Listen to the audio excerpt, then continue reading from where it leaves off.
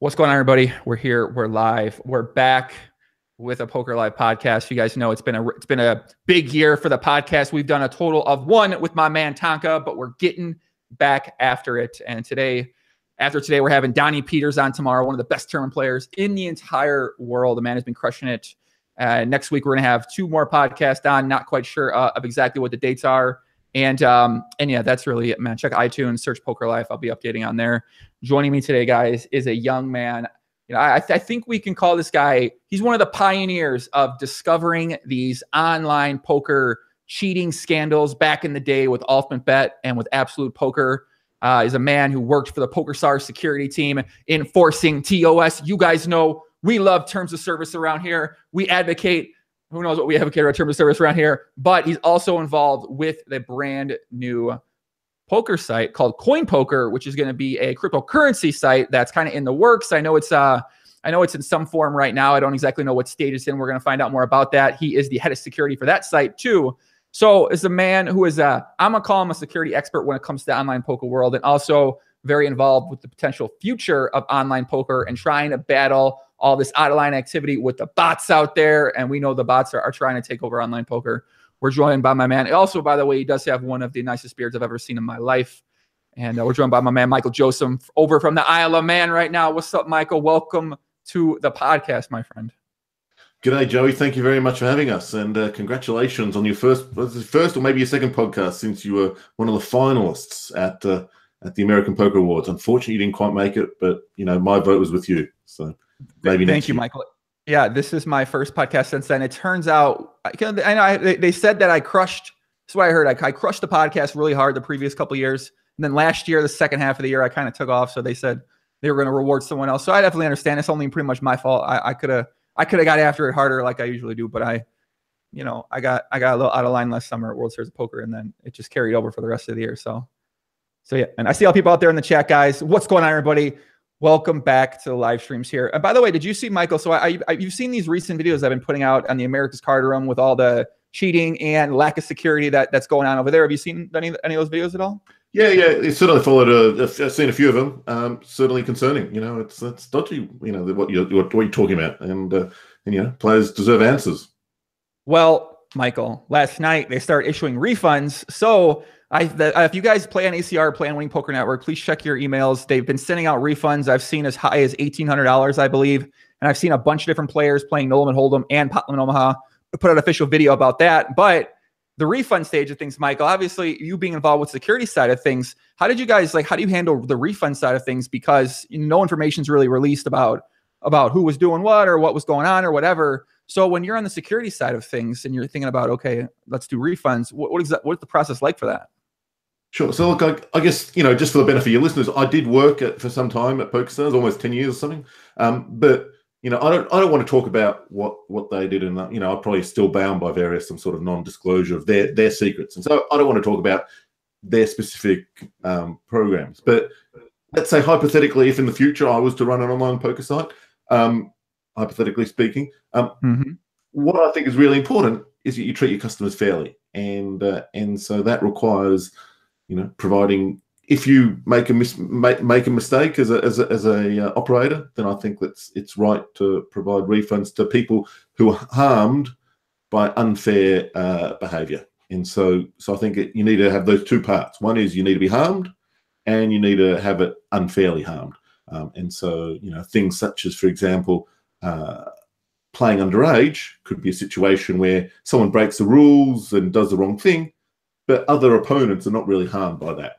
Um, whereas I think you know you have to be harmed in some sort of EV, some sort of you know damage that hurts happens to you as a victim, um, and it needs to happen unfairly. So, for example, if you play against someone who who is better at poker than you are, obviously, then you don't deserve a refund, um, or you don't deserve any compensation for that because it wasn't unfair. Uh, and so, in those situations, you know, the, you've got to come up with a as an operator, uh, got to come up with a, with a fair way of of providing compensation. And you know, I don't, don't know what ACR uses. Uh, unfortunately, they're based in Costa Rica, and you know, there's no Costa Rican gaming authority that that'll review this. There's no, you know, there's no credible, you know, independent legal you know court system that you can appeal to as a customer. And so you know when you play on these off- offshore sites like ACR or Winning Poker, it's you know it's not going to be if you do have a dispute, you're at, at their mercy. Uh, and so I think there's a real lesson there to distinguish what some dodgy operators do with those that are that are doing the right thing. And so, you know, um, that's you know, I think it's important for you as, as, a, as a leader of the community, Joey. Um, you know, we don't want not all poker sites are bad. Um, some are, some are not. And so, you know, for your customers, for, for your viewers, um, mm-hmm. you got to distinguish, I think, a little bit between those two. Yeah, I think I know how they figured out refunds. Here's what I believe happened, Michael. I, I, mean, I don't know if you've seen this this technique, but I believe they they put their their their hand right here and they just started uh, hitting names on the keyboard, and then they came on some accounts, and then they just they did that again for the amount. I, I would I don't know what that. I mean, listen, I don't know. Their security team, Michael, they need to pay you a million dollars and just bring you down there. This, I don't know how much coin is giving you. They need to give you a million dollars and bring it. Yeah, they need to give you a million dollars and bring you down there and say, Michael, can you help fix this fucking situation? Because I mean, I don't know if you'd even if that even be something you do. Obviously, you mentioned unregulatedness, and right now you're currently involved in the coin poker site, which I believe is who, who's the, so the coin poker. I know Tony G is associated with that, and there are some other names on there that I recognize from. They used to work with Poker Stars. Why don't you talk a little bit more about what coin poker is and kind of what to expect from this site? And does this have potential to be a, a really good option for players looking to play cash games or, or looking to play tournaments.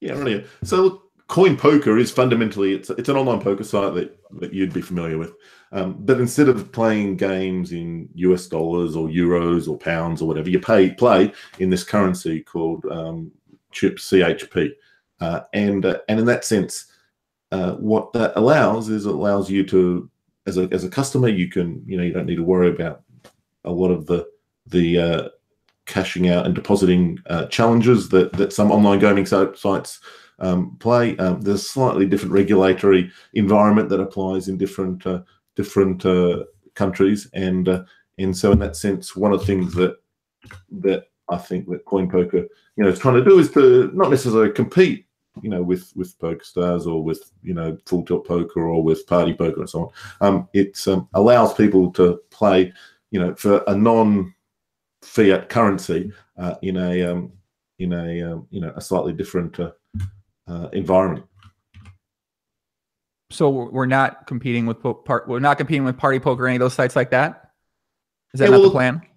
Well, perhaps you know potentially in time, but but you know currently uh, you know it's only just launched in the last few weeks, and so and so it's really you know very popular with the um, you know a whole bunch of uh, poker players and with enthusiasts in the cryptocurrency uh, world.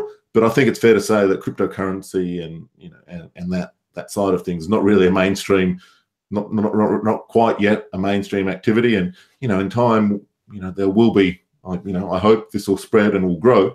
But you know, let's also be realistic. Like you know, launched just a few weeks ago, and you know, you got to got to got to walk before you can run. Uh, and so, you know, trying to trying to go too far um, too quickly uh, can be super dangerous. And so, you know, you take it slowly. Um, so, I guess for, for from your standpoint, being the head of security, what are what's sort of your mission with with what you do? Are you kind of just trying to just monitor the games and kind of look out for for what people might be doing, what exploits they might be doing, potential bots or potential collusion out there? Sure. So yeah, look, my, my role in that is is you know firstly communicating to and from players about about various issues that that might arise, so that we get the right policies and procedures um, uh, in place going forward. And so, for example, in, in, recent weeks, you know, we've published a series of articles on the Coin Poker uh, Medium uh, channel, uh, medium.com forward slash Coin Poker or whatever it is. Um, the uh, and and a lot of what that is is about listening to what different customers want and what the different community members of the community want uh, with regards to things such as uh, user ID changes, uh, storing of hand histories, you know, rules on privileged software and so on. Uh, and so, in that sense, I think that you know that's that's a much more my involvement there strategic uh, rather than being involved, you know, as you say, on a day-to-day basis in individual cases. Um, and so, in that sense, you know, I think that that when you're we're you know at the very foundational stage of, of coin poker uh, it takes a little bit of time to build the foundation right so that then when it grows in time uh, you have a good you know solid foundation. You know you don't want to have a have it have it all built along uh, up on paper. And so if that falls down then you know, you know customs will be quite unhappy and so for you know for you as a poker player you know what we've been hearing from players is that they want you know to get it right and you know certainly won't be right in the first week or the first month um, but it's about uh, you know taking it taking it slow, making the right decisions, and getting the right st- strategy in place to to you know, make it let it grow. Yeah, I mean that that definitely makes a lot of sense because it's kind of like you want to you want to have your fundamentals, whatever it is that you do, you want to have your fundamentals down pretty well yeah. before you start sort of building out and expanding on more complicated or more advanced sort of strategies or whatever it is you're in. If you're in business, you're building a poker strategy, if you're running a poker site, because I think what could happen is you take a look at America's Card Room, who's neglected security, winning the winning poker network, America's Card Room. There's a bunch of other skins on there, but they've neglected security for so long, and now they get to a point like this where they're like, well, I, I, don't, what am I supposed to do? And it sounds like what you're saying is you want to take it, you know, kind of just take slow, take that building part slow, really focus and make sure that you, you sort of have a good understanding of what might be, you know, what might be getting a little out of line with the site or what might be issues or what might be problems, and then fix those up at this stage rather than have it to a point where you have a ton of players in the site and a ton of action on the site and, and then trying to reverse a bunch of stuff and fix it from there. Yeah, exactly. And I think that one of the things that I've been most impressed about the coin poker people is that they've uh, got a real commitment to protecting player funds first and foremost. Uh, and so if you think about it over the 15 years of the of the online poker world, you know, first with Poker Spot and then, you know, later on with Absolute Poker, Ultimate Bet, Full Tilt Poker, um, and then one of the a few Purple Lounge, um, and then PKR. Um, a whole bunch of them have essentially gone bust because they didn't have player funds safe and secure. Uh, right. And so, one of the things that I've been really impressed and one of the great opportunities of the whole blockchain uh, um, public ledger um, side of the technology is that the coins, the chips that you're playing in, are very, very verifiably there, and that you can see whether or not the site has the where those tokens are going back and forth. Um, and you know, just think of how much, how many more hundreds of millions of dollars are being players' pockets today. You know, if party po- if not, not, not sorry, part, that was a mistake. I didn't mean to say party, but if Full Tilt Poker or if Ultimate Bet or if Poker Spot or if PKR had published their bank accounts day in day out, literally instantly, you know, over the last fifteen years. Uh, and so, you know, I think that's you know the first and most important building block because you know if you don't have customer money to begin with, then you know it doesn't matter if you get all the compensation in the world if you if it's not in the bank account, right? So, so I think that's the real that's the real thing that sets the new crypto world of coin poker and the cryptocurrency operators apart from the rest is that, that level of transparency when it comes to the money. Yeah, it does seem like there are other crypto per- cryptocurrency poker sites in the works. I believe Luke Schwartz, uh, aka the English Pigeon, aka I Beast Everything. I know he's him and and Jason Mo and uh, I'm about to CTS. I know they're involved in another one. I think there's like another one with Dan Colman and Brian Rast are involved in too. Then we have Coin Poker. So it, it does seem like we are going to have some alternative options outside right. of, of the, the, U.S. markets. I don't know exactly. So is Coin Poker? Can you play on this site uh, from the USA without breaking TOS, or is this just a rest of the world site, or, or where exactly do they offer for for players to play if they want to play for real money on there?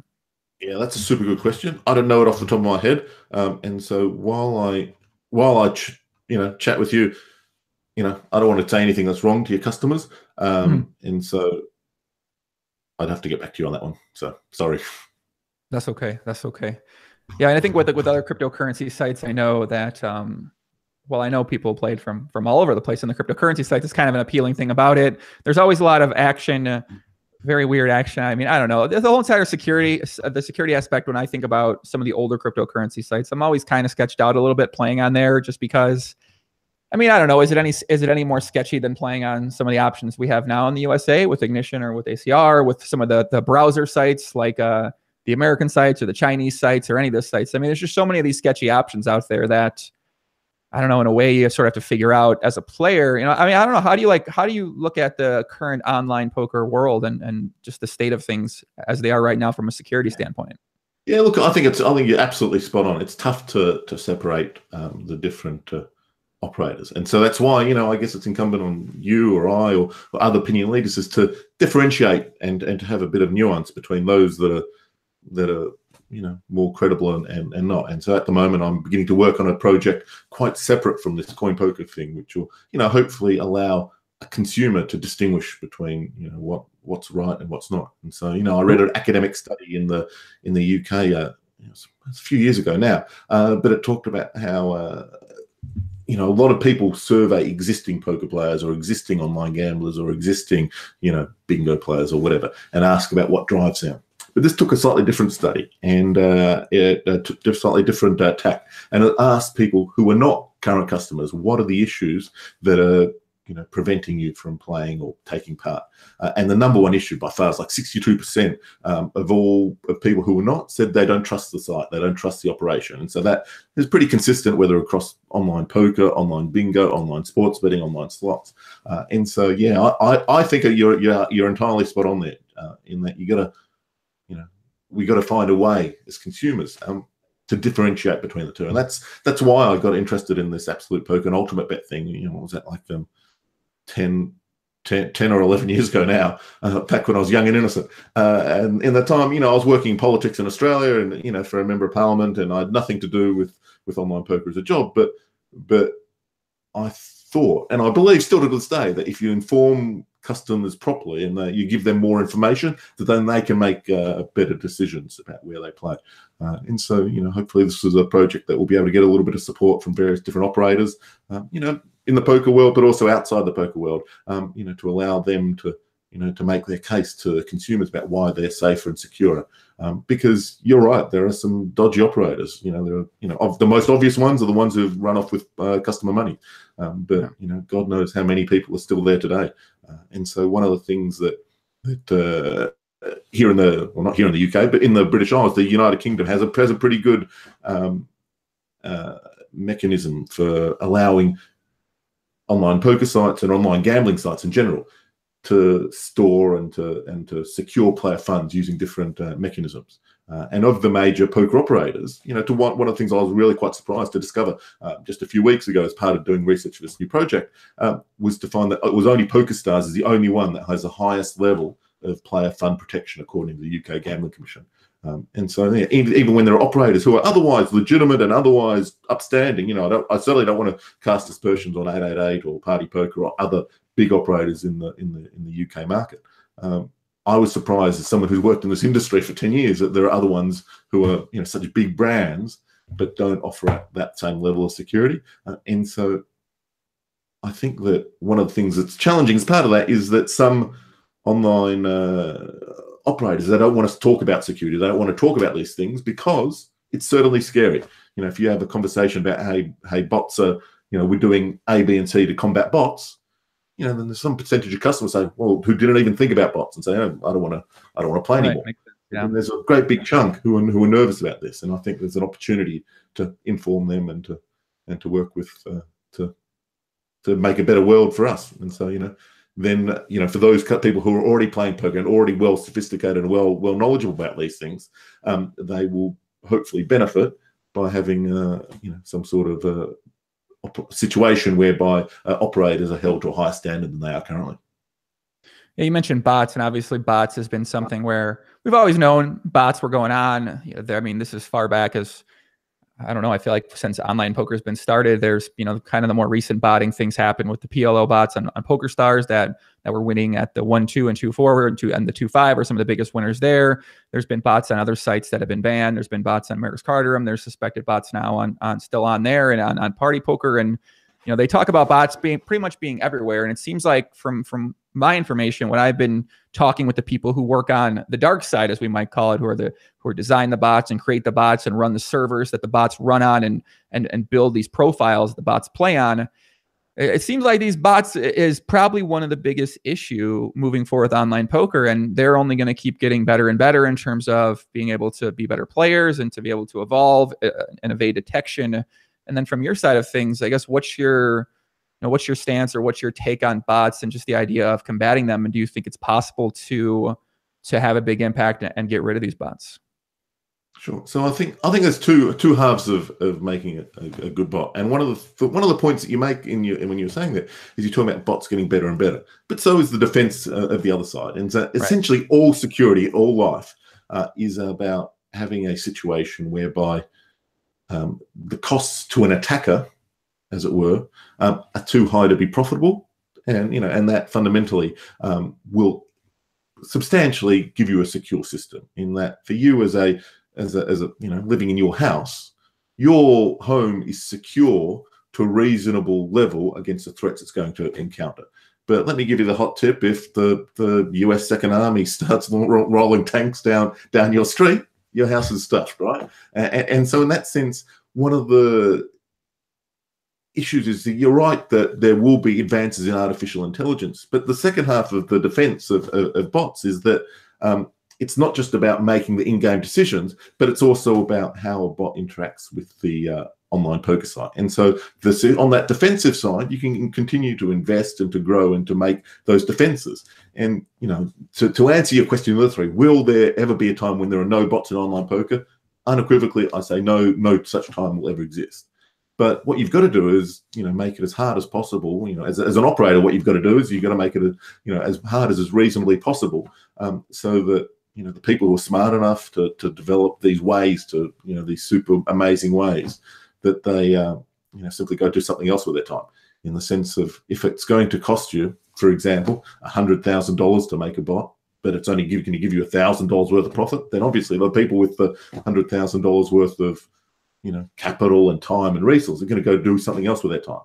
And so while it's it's technically true to say that artificial intelligence is always improving, um, you know I don't I don't think that that necessarily means it's it's always going to be harder and harder um, for an honest player.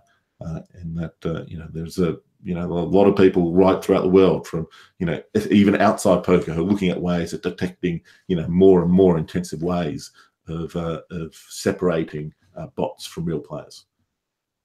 We're coming for you, bots. Listen, bots. I might, I'm, I don't know, man. I might just say, fuck it. I'm going to work security somewhere. I'm, I'm dedicating my life to battling the bots, even though I'm not going to win. And y'all bots are going to, going to send those crazy dogs from that one video I posted. They're to, those dogs are going to come after me and take me down. That's okay, man. I'm, I'm, I'm ready to, uh, I'm ready to, I'm ready to battle the bots. I like playing, I like playing with bots. I'm gonna be honest with you, Michael. I feel like bots, uh, I feel like bots help make you better at poker when you know that they're bots and there's three of them at a table because then it's really impossible to win. So if you can somehow beat three bots at one table, you got to, you know, you got to be doing something pretty right. So from that standpoint, well, Michael, if I like. you want to go play with bots, then you go play with bots. bots on your own. But that's that's not for not my world. In that uh, we need a bot like, network. One of the things Listen, that make we need a bot network. I want to play on the bot. I want to play on the bot network. I want to play against the bots. there is a there is a I don't know if it's annual or biannual, but but there is certainly an ongoing uh, uh, bot poker tournament um, and so where they get the, you know, a whole bunch of academics, they get their bots and they play against each other, uh, and they play like a million hands in an, like a minute or something, because obviously they're running at full at full speed. Um, you know, they don't need to wait, you know, normal Joey thinking time, um, but rather they just blast through like a million hands in a few minutes and so on. They just let the algorithms go back and forth at each other. What? Yeah, yeah, it's a, yeah, a whole lot of research in uh, in this, you know, because people are using poker bots not to play six max no limit hold'em or six max PLO, of course, um, but rather they're using it to learn about how uh, artificial intelligence can do some interesting things with hidden information and so on.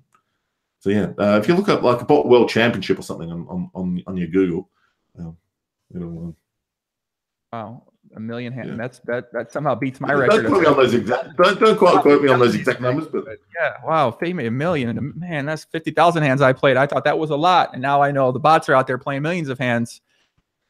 Yeah, yeah. Shout out to the bots. Shout out to everybody in the chat. We see a lot of good comments out there. Hamilton Ellis says it seems like only refunds referencing what I mentioned earlier have come to PLO. So they're refunding guys, and I'll put out a video about this uh, over the next couple days. Their ACR is refunding PLO and no limit hold'em players right now. And I don't know if sit and goes or multi-table tournaments players are being refunded, but um, but you can follow along with that on two plus two. I'm going to start a thread in a little bit about it, and um, and yeah, uh, James Piak says, "What's the best?" I didn't say that right, obviously. What is the best way as a player to detect a bot while playing? Does that feel like does that give away too much? I guess from the strategy side of things, from the from, from your point of view, to talk about how how players can maybe detect that they might be playing with a bot. So I think that the amount of information that a player has into is is so incredibly small that you're better off you spending your time and attention for mo- in most cases to other things. You're better off, you know, it's much more profitable for you as a player to, you know, to analyze your own play than to try and figure out whether or not someone's a bot.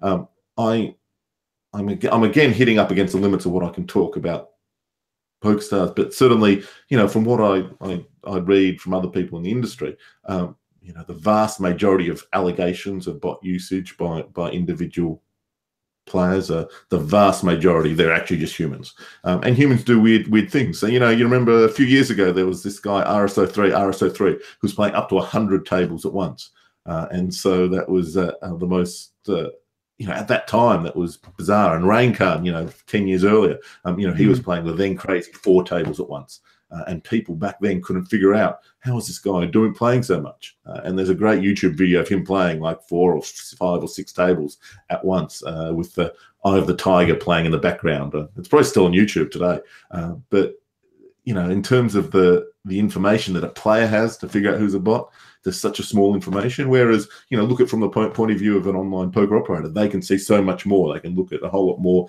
Um, and so, you know, my suggestion is, you know, if, if I if I was a customer and you know I'm now not not not employed but full time by any uh, you know significant online poker operator, um, you know, I play in my spare time, and if I ever suspected something, and you know, I suspect that's unlikely that I would, but I'd send an email to the to the site, um, let them know, hey, I have this concern and uh, let them investigate because they have so much more information than you or I ever will uh, as customers. And so, you know, in that sense, you know, I, I, think that for most people, you know, I accept it's a risk and, you know, it's one that online poker operators need to face and to need to overcome, but it's such a small one compared to so many bigger issues.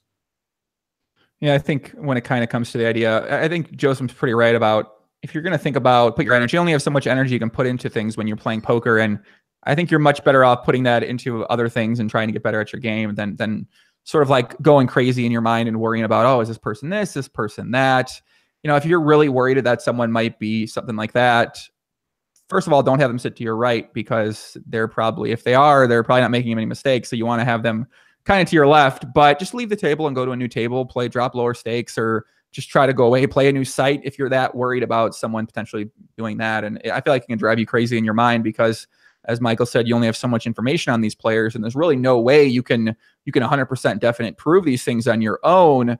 So you can submit something to security eh, besides that. But either way, if you start once you get it in your mind, it just drives you nuts. And uh, yeah. if if you're if you're if you're driven nuts when you're playing, well, you're not going to be playing your best strategy. You're not going to be thinking about how to get better at your strategy. You're going to be thinking about this stuff over here. So I feel like in the long term, it's just better to kind of block it out of your mind if, if that's possible, which is something I've always done, and then just focus on your actual game and what you're doing and executing your strategy. Yeah. And so, um, look, the, the, you know, fundamentally, the decision you have as a, as a customer is, hey, if you're not happy with the performance of your of the people of the company that's providing you with online poker, go somewhere else. You know, let let the company that you're playing at know that protecting and, and preventing bots is important to you as a customer. Um, and if you're unhappy with them, go somewhere else. And it's and it's through that competition that you know having that choice that I think that is the best opportunity for us as customers in the long term to you know to reduce that risk.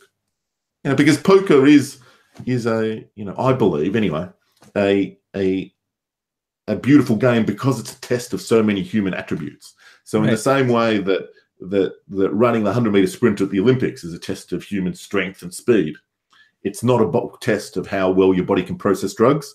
And so, in the same way, poker is such a wonderful test of the mind, of, of courage, of logic, of mathematics, of perception, and so on. It's not a test of your programming skills. And so, you know, if you you know, if that's important to you and you feel the same way, let the online poker site know because you know they should be on the same side as you.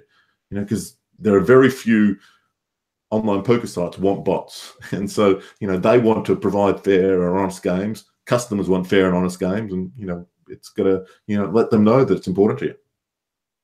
Here you hear what he said, guys. If you play at any any site, coin poker, you need to send Michael at Michael Josem on Twitter. You need to send him a mention every single day for the rest of your life, and you need to send them an email at least once a day, voicing your concerns about what's happening on that site and maybe just tell them what, what you think's happening on every other site too. I don't know. Give him give him maybe he can forward this to information to the to the powers that be uh, poker stars or somewhere else. So there you go. He said it himself. I didn't say that. He said it himself. So please I already, have, the, this, I already have this guy on I already have this guy on Twitter who does this every every week or so. I, I assume, you know, he like I don't know what he's up to, but let's just say late on a Friday or a Saturday night, um, I get like a barrage of mentions from some clown on uh, on Twitter. Um, uh, in a, in what I think is somewhat a similar situation. Man, maybe he's been a bit been a bit thirsty or whatever. But uh, you know, don't don't mention me. Don't at me. Um, Go, go if, anyone, you know, if anyone, if anyone will at Michael about this for the every day for the next month, I will give them a reward. I do not know what it'll be, but I, am I'm, I'm going to put a bounty on there potentially on this because I want to see it happen. So, uh, Barry Carter, oh Barry Carter in the chat, shout out Barry Carter out there, man. Barry's doing a lot of great work. does a lot of really great writing out there. I feel like he takes a very unique angle on a lot of the stuff that he writes too. So I love reading what he says. He asked a really great question. Is that certif- certificate on the wall not straight? It's tilting the shit out of me. That's true. Is the certificate on the back of your wall, is that straight or is that crooked? Oh, it is. It is slightly. Let me. Let me. Uh, uh, whoops. Sorry. So the difficulty here is that the wall. Is that better? I don't. I didn't. The I didn't notice it. I don't know. Okay. Yeah. So the difficulty is that the wall is actually not flat. So it's like a. I don't know how to describe it, but yeah, like there's a corner of the wall there. So, sorry. Look at my pretty face instead, Barry. That's. Um, I'm sure will distract you. If you want um, asymmetricalness, then check out my face because. Damn, man. Now I see. Man, is that listen, ladies in the chat? I know we have a lot of ladies that watch my videos. Let me know what you think about Michael Josem's beard and his asymmetrical face. Is it GTO or is it GTFO? Please let us know in the chat. I know we get a lot of female demographic around here.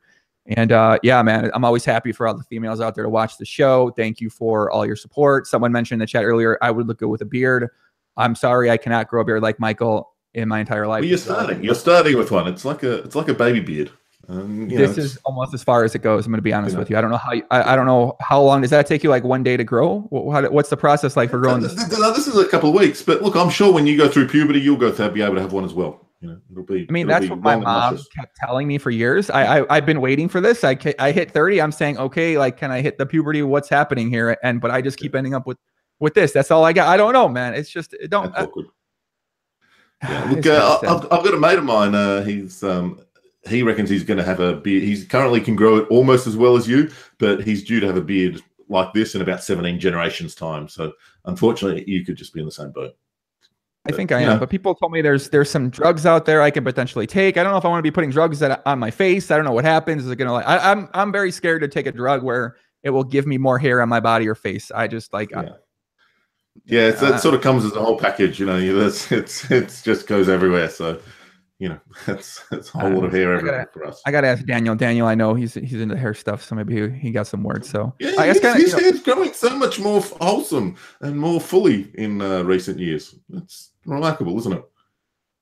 I do like I like his I like his hair now. Shout out Daniel. Shout out to Daniel out there. He issued me a free roll. I'll probably talk about that at some point in time in the future here. But you know, kind of poker stars and Daniel.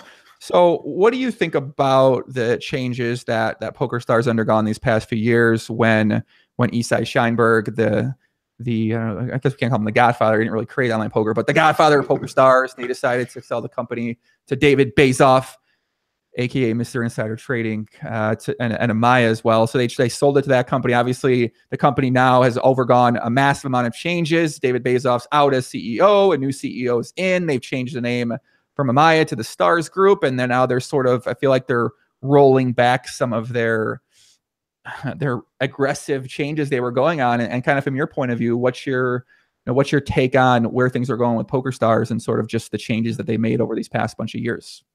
Sure. Yeah. Look, I I uh, had a have a great deal of affection for Isai, and I think anyone who meets him and anyone who interacts with him uh, has the same experience. And he is a man of deep integrity, of deep passion, uh, and a deep affection for the game and for the product and for the customers. And he was certainly, to my mind, you know, one of the most uh, impressive men that I've ever had the opportunity to meet. And so, you know, forgive me for being not going a bit of downer here, but like he's a he's a a, a man who I respect and admire, and and and I think very highly of of him. The um, and so one of the things when he was leading Poker Stars, you know, it was always in the top of mind was how do we do things better for customers? How do we make a better product? What's right for the game of poker? Uh, and so, you know, that's why, you know, from the very start, you know, he led the industry in the deployment, firstly of multi-table tournaments, and then invested in the in the myriad of poker tours of the, you know, right across the world, the EPT, the NAPT, the, you know, the Latin American poker tour, the Asia Pacific poker tour, and then the whole flood of, you know, regional things. You know, not because they necessarily made sense in the in the immediate future of in the in the, in the immediate short term future because our investment in leading the game, and uh, and these days uh, I think poker's in a very different situation, and you know, I'm, I'm I don't I don't really want to talk about Poker Stars, uh, you know, because you know I used to work there for nine and a bit years, and you know, I'm, I, you know, it's sort of like when you break up with an ex, you don't want to talk about your ex all the time. Like, you know, we had a wonderful time together, and I'm very grateful for the time that I spent at Poker Stars. Um, and and you know, there are certainly still, you know, a lot of great individuals there. Um, and so, one of the things that you know I think applies to the gaming industry as a whole, and you know, I acknowledge that you know you're mostly focused in poker, but if you look into into the sports betting and casino games and and poker you know, right throughout the rest of the world, a whole bunch of the the mind the mind share of the leaders of the industry have been focused on the various financial wheeling and dealing. And David Baazov was the worst example of that. In that he, you know, what was you know, did David Baazov have a great commitment to no limit, uh, you know, no limit hold'em? No, no, he did, did not. Did he? Look, I don't know. Did he even have a PokerStars account before he bought the company? Like, I, no, I do not think so either. Look, I, I, don't know. Like he, he might have, he might not have. I, I, you know, but like that was not a man whose whose mind frame was set around how do we build great value for our customers because he came from a very different background. He was, you know, came from the Wall Street with the, you know, the wheeling and dealing and the, you know, that that well, not even Wall Street, but you know, that Canadian entrepreneurial, and he brought a very different attitude, different mindset. So his mind, um, you know, was focused very much on on trading and, and and that sort of financial deals. And and one of the things that one of the challenges I think for the online gaming industry as a whole, and this is certainly not a reference, you know, solely to PokerStars, but the whole industry, is that the industry needs to focus on customers, needs to focus on product.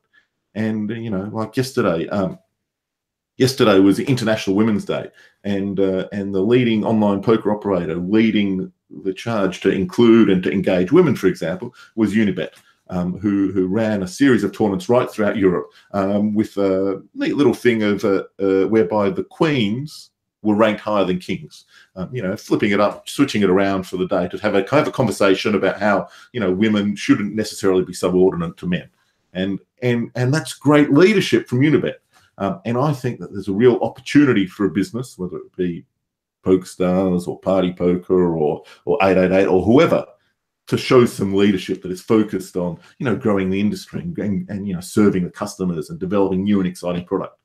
Uh, that, that's that's i think you know there's a there's a whole right across the industry of that sort of leadership because people you know are focused on mergers and acquisitions rather than focused on great new products they, they definitely do. I mean I, I you mentioned about david Baazov, his mindset where he comes from. So guys i have a I've been on a rather deep dive investigation on our young friend David Baazov and who he's been associated with, his past with Amaya, his past with acquisition acquis- acquisitions, and uh, his past potential OOL out of line behavior and current out of line behavior, and more on what exactly is going on with this insider trading video coming rather very soon for you guys. So I don't know if people will be interested in that on a, on a, big scale, but I think it will give you a lot of added context onto why exactly Amaya made the changes it's made and why Amaya, aka now the Stars Group, has made the changes that it's been making.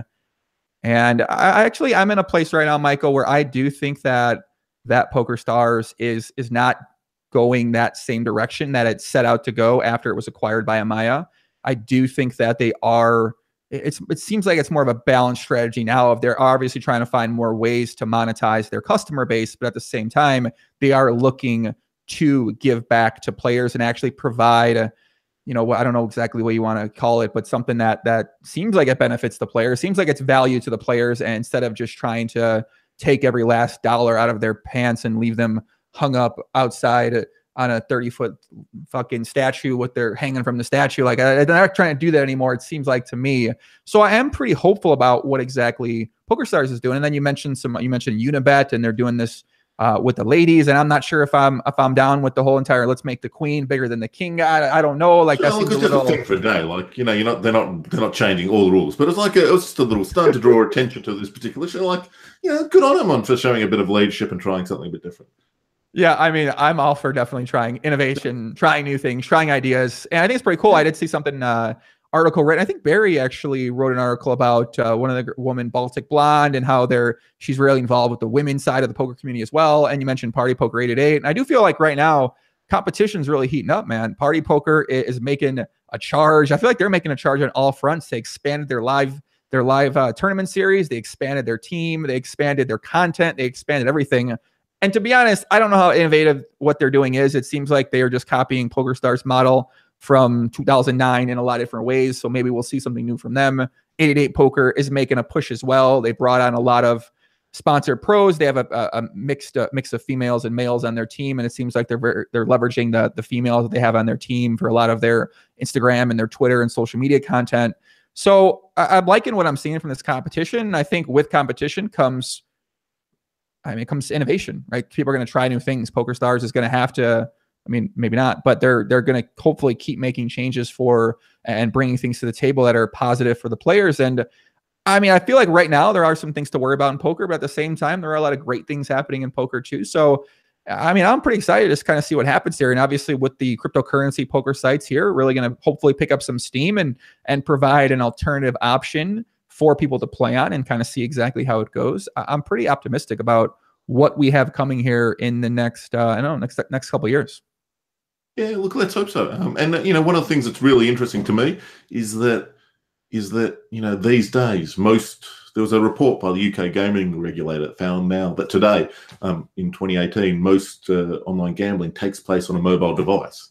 And so, in that situation where you have where you're on a mobile device, you know, you don't want to be sitting there for you know eight hours playing the Sunday Million because you know, apart from anything else, a you'll run out of battery, and b you'll ruin your neck.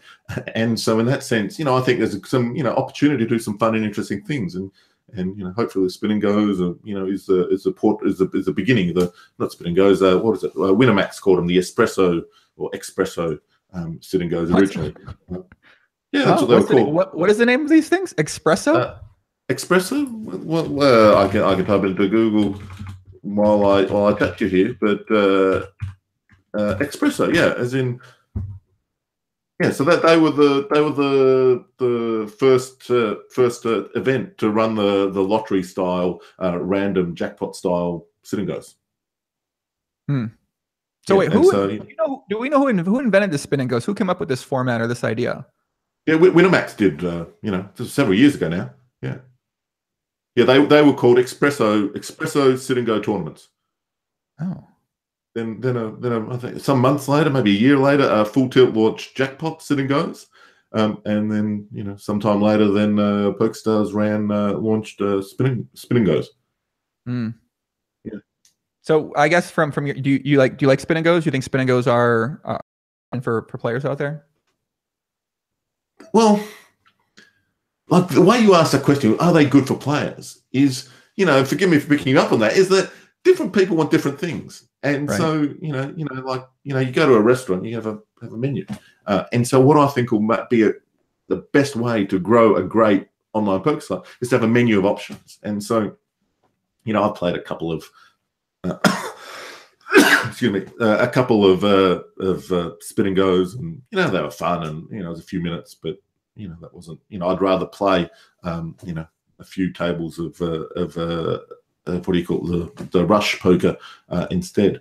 Um, you know, because I like playing bang, bang, bang, bang, bang, decision, decision, decision. Um, but you know, different people want different things, and so you know, in a, in a world where fifty three percent of online gambling in the UK these days is done on a mobile device, you know, no one's sitting around for hours on end to you know to for the twelve hours to play a huge multi table tournament, uh, and so you know, it's a different format, and so it works for different people in different situations. So, you know, different. you're going to be surprised by the way I feel about spin and goes, but I don't. I don't mind them. I think that, as you mentioned, you know, you, I feel like a lot of players, right, they might not want to play uh, a regular sit and go. They might not want to play a multi-table tournament. Obviously, you mentioned that a lot of the gaming takes place on the phone, and I think if any of us go outside, I mean, if you go like actually watch, try to spend. If you guys are out there, I'm gonna give, I'm giving this challenge to you. Spend like an hour or two when you're out, not on your phone, just watching people and see how many people are just glued to their phone the entire time and I think that uh, mobile friendly option like a spin and go, and it does seem like you know there was there was speculation: is it beatable? Can players win?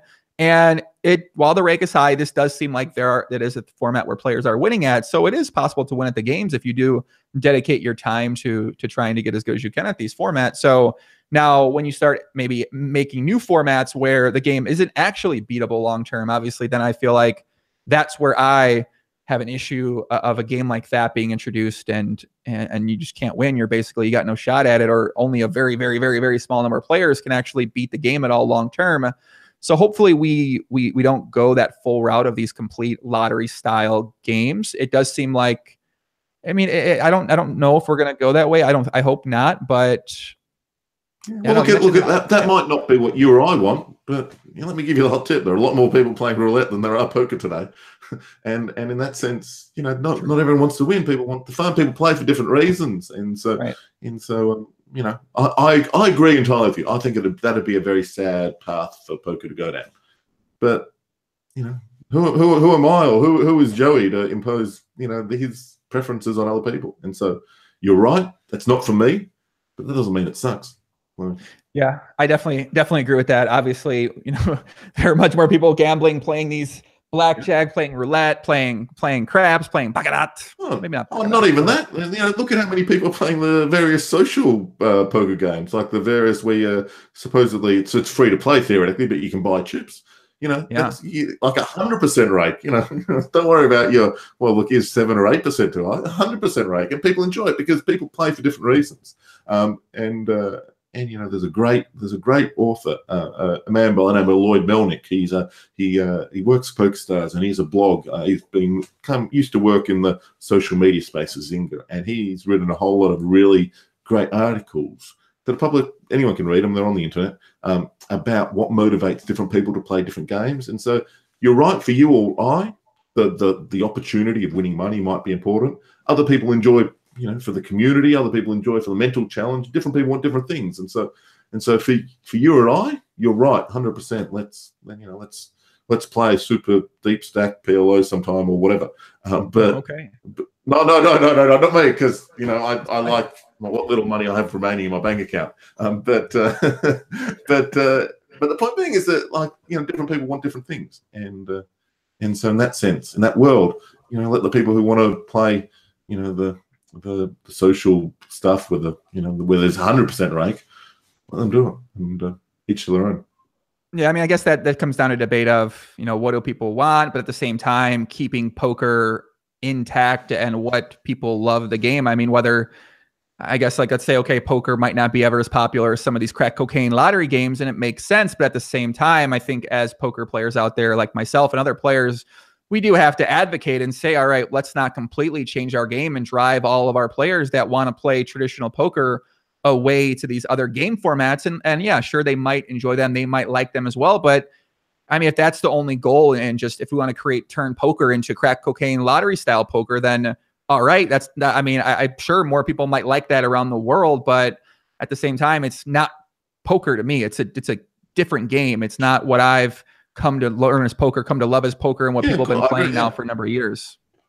Yeah, but like different people, you know, when you talk about driving people from one thing to another, you know, that's a bit of a bit of a misnomer. So, for example, uh, when the when Zoom poker or Rush poker first arose, you know, a whole bunch of people moved from playing traditional six max, nine max. In fact, actually, why don't we go back to the very start? You know, when people played, you know, 15 years ago, people were playing limit poker, and then no mm. limit hold'em came along you know, people were not driven from limit to no limit. People chose because they said, "Oh, I want to play this game. This is better for me." And so now, in, in recent years, where you talk about, you know, people are not driven to play spins, but rather in a world where fifty percent of of, of of online gambling is now done on your mobile phone. You know, of course, people are going to want to play a format that makes sense in that in situation where you can play it in five minutes and you know without you know having to go to physio for playing you know an hour on end. And, and yeah. so and so yeah, so like I, I think there's a, only a slight disagreement there between you and I. But what it is is that you know the players have moral agency. The players are human. You know, let them choose what they want to do. And, you know, I, I hope passionately that they choose slightly more traditional forms of poker. But you know, if they want to flip a coin and and you know go all in every hand and there's you know some sort of flipperment, then you know they can, they can do it. But it's not my game. Yeah, I'm not. I'm not advocating anybody do that. I guess what I may, when I say driven, more so mean by the the type of marketing done, the type of content created about the game types, the way that the sites then can promote these different game types, the way that you know different content I guess is maybe shown on television. And I feel like you as a as a site or you as an operator, you as as anything, you have so if I want to if I want to market my show as something where it's only these people are taking shots, talking shit at people, whatever, and I put content about that out there, well, then a large majority of people out there are going to think, okay, well, this is what my show's about. But if I decide to market a different way, then that's what people are going to are going to be driven to or going to kind of that's what they're going to think my stuff is about. And then when you take a poker site and all right, if we decide what we're going to market here, if we're just going to put a lot of little pop-ups for spin and goes when there's a big spin and go, we're going to have hey, you want to watch it, and we're going to send out emails. All our emails are focused on spin and goes. We're going to create advertisements that are focused on spin and goes. Well, that's going to drive people to play spinning goes. If you keep seeing that, keep seeing that. Whereas if you decide I want to create content around cash games about PLO, if I want to put something into PLO or put something into Nolan and Hold'em, well then there are going to be more people that go try these formats out because that's what they see and that's what's that's what they're being driven towards that's what they're being marketed towards so i guess when i say driven from that format or from that standpoint that's kind of what i'm referencing is that you you have the ability to sway people's opinions on what they should play and why they should play it and if you tell them the spin and go is the most fun thing to play well then they're going to think that if you tell some people that that cash games are the most fun thing to play or or multi-table tournaments the most fun thing to play a lot of people, if they keep hearing it and keep hearing it and keep hearing it, well, they're probably going to believe that because they're going to play and most likely they're going to have a good time. like, so, take, take, the,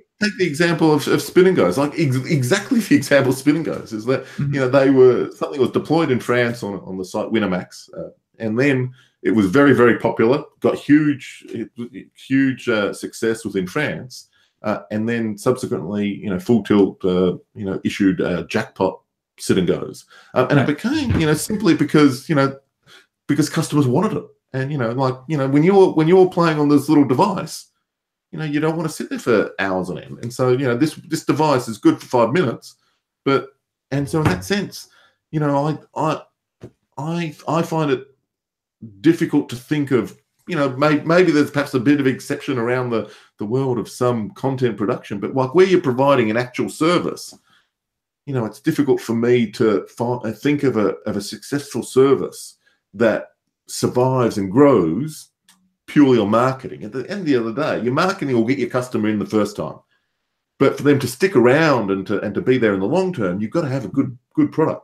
You know, if you you know, let's say you go to the supermarket and you see, oh look, there's some wonderful advertising for milk, and you buy the carton of milk. You go home, the milk tastes like shit. Well, you know, okay, you fooled me once. I, I ended up with a with a carton of shitty milk. But go back back the second time, I'm not getting getting going to get fooled.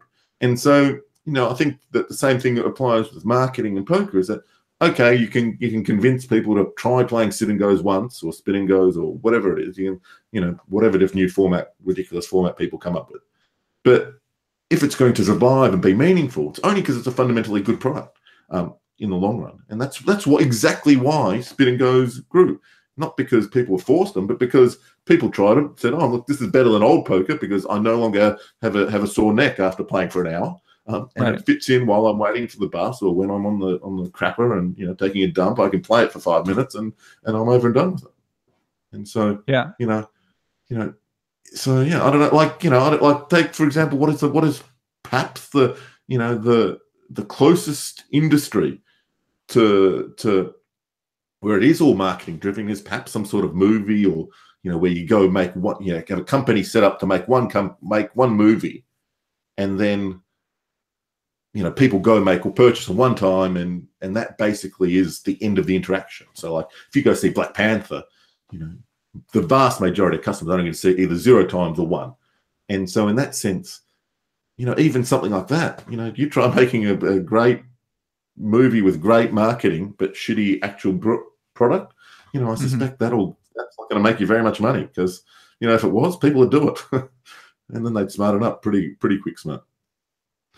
You know? Yeah, I definitely I definitely understand where you're coming from with things too. I uh, I mean, just for my I'm very, you know, I, I'm not coming from this uh, unbiased standpoint. Obviously, I'm completely biased towards cash games. It's something that that was such a, a, a inspiration for me coming up when I first started playing poker and just seeing uh, the cash games, seeing those high stakes games, Good. getting the players to become personalities. Good. And I think, Good. you know, when, when you have, when poker is turned into, I, I, guess, the other formats, you know, we're not really having that anymore. There are no best players in the world that come from online poker if online poker is not what it was. And then there's a comment in the chat that said, um, like they want to change what was immensely popular pre Black Friday. And I guess they, I don't think they want to change it, but they're just, you know, like, you know, uh, people in 2018, Black Friday was, Black Friday was almost seven years ago. like, you know, like back in 2011, you know, people didn't have mobile devices in the same level of, of uh, saturation that they do today. And like, yeah, like if you want to if you want to make a 2010 product and sell it in 2018, yeah, I'm sure go ahead and do it. But, you know, for both of your customers, good luck to you. Because you know the world changes. And so you know the world is is different and customers want different things. It's not you mm-hmm. can't you can't force people to play you know six max plo the only reason people will play six max plo is if they they want to play six max plo you know? So in that sense you know that's you got to find the right balance. And so hopefully you know there's an opportunity to create innovative you know games that are mind mind intensive and are, you know that are you know fun and competitive and so on. And you know maybe run it once you know the phil galfond's uh you know product mate might well happen in maybe 2018 who knows? And uh, and if it does good luck to them. And you know and then your customers will have a choice and they can make every time they log into a poker client they make a choice. You know you're they make a vote. Hey do i want to play plo do i want to play no limit hold'em do they want to play whatever it is you know every time they're voting and uh, with their money and you know, I I'm a very skeptical of what people say. I'm much more trusting of what people do. So, yeah, you definitely make some good points though, and and kind of something to for me to think about more as well too, and just kind of the idea of traditional or what's people want to play and that sort of thing, how it can merge together and how it can balance together. You mentioned Run It Once poker with Phil's site. We'll see. Phil obviously put out a, a, great blog the other day speaking about Rake and kind of broke it down in a very, very well spoken and well put way. So I'm probably going to have Phil on up. I'm going to try to get Phil on a podcast. We'll talk more about what he talked about and where the site might be at as well. Ball Balky has a good marketing potential campaign. Yes, it's good advertising. A quick game while taking a dump. Spin and goes is the game for you. Yeah, maybe we get Negreanu on the toilet, uh, using the facilities, playing it. I love, man. I'm like, I want to, I want to play, I want to play. and then he pulls out the phone.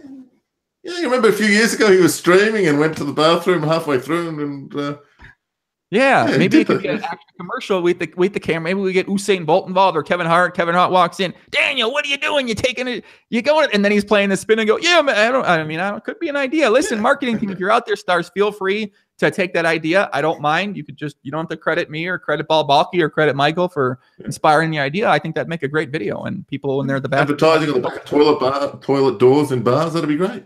You know, go all in. Yeah, I mean, why not? I don't know. So you uh, you have to you have to say you have to go at a certain time, or how much longer do you have? Yeah, I gotta go soonish, but yeah, yeah. Actually, all right, guys, let's uh, yeah. let's let's grab some let's grab some questions from uh from the chat out here. Uh, let's grab some questions from the chat. Commercials on the pod. I'm serious. It's a, it's a pretty good idea, man. I don't know. Uh, I've Merck says I've never met anyone who loves spin and goes or beat the clock. I, I don't think I have either, to be honest with you. Uh, well, yeah. Like, yeah, but like, like, like, like, what you, what you, you don't think there are people who are playing these things? Obviously, there are people playing these things. You but know, people like, love like, people. People like you sound, you sound like a guy like in Crush. You know, they, they're we're making them like these these these like fucking crack cocaine type of games, man. I don't know. I like people love Pot Limit Omaha. Pot Limit Omaha is the great game. Anyone sitting there like I love amongst, amongst Joe Ingram's friends, I'm sure. I'm sure Joey Joey's mates love Pot Limit Omaha. But you know, you know, you sound like some guy who lives in lives in New York. Says I've never met a Donald Trump voter. Like, so like that's because you're says about who you're hanging out with, not not about the popularity of the vote, of the popularity of the product. You know, if you if you Listen, if you're watching this, you love Spin and Goes, I need you to send me a message or video telling me why you love Spin and Goes. The person who I believe loves Spin and Goes the most and can send me receipts that they played a lot of Spin and Goes, I will give you a prize.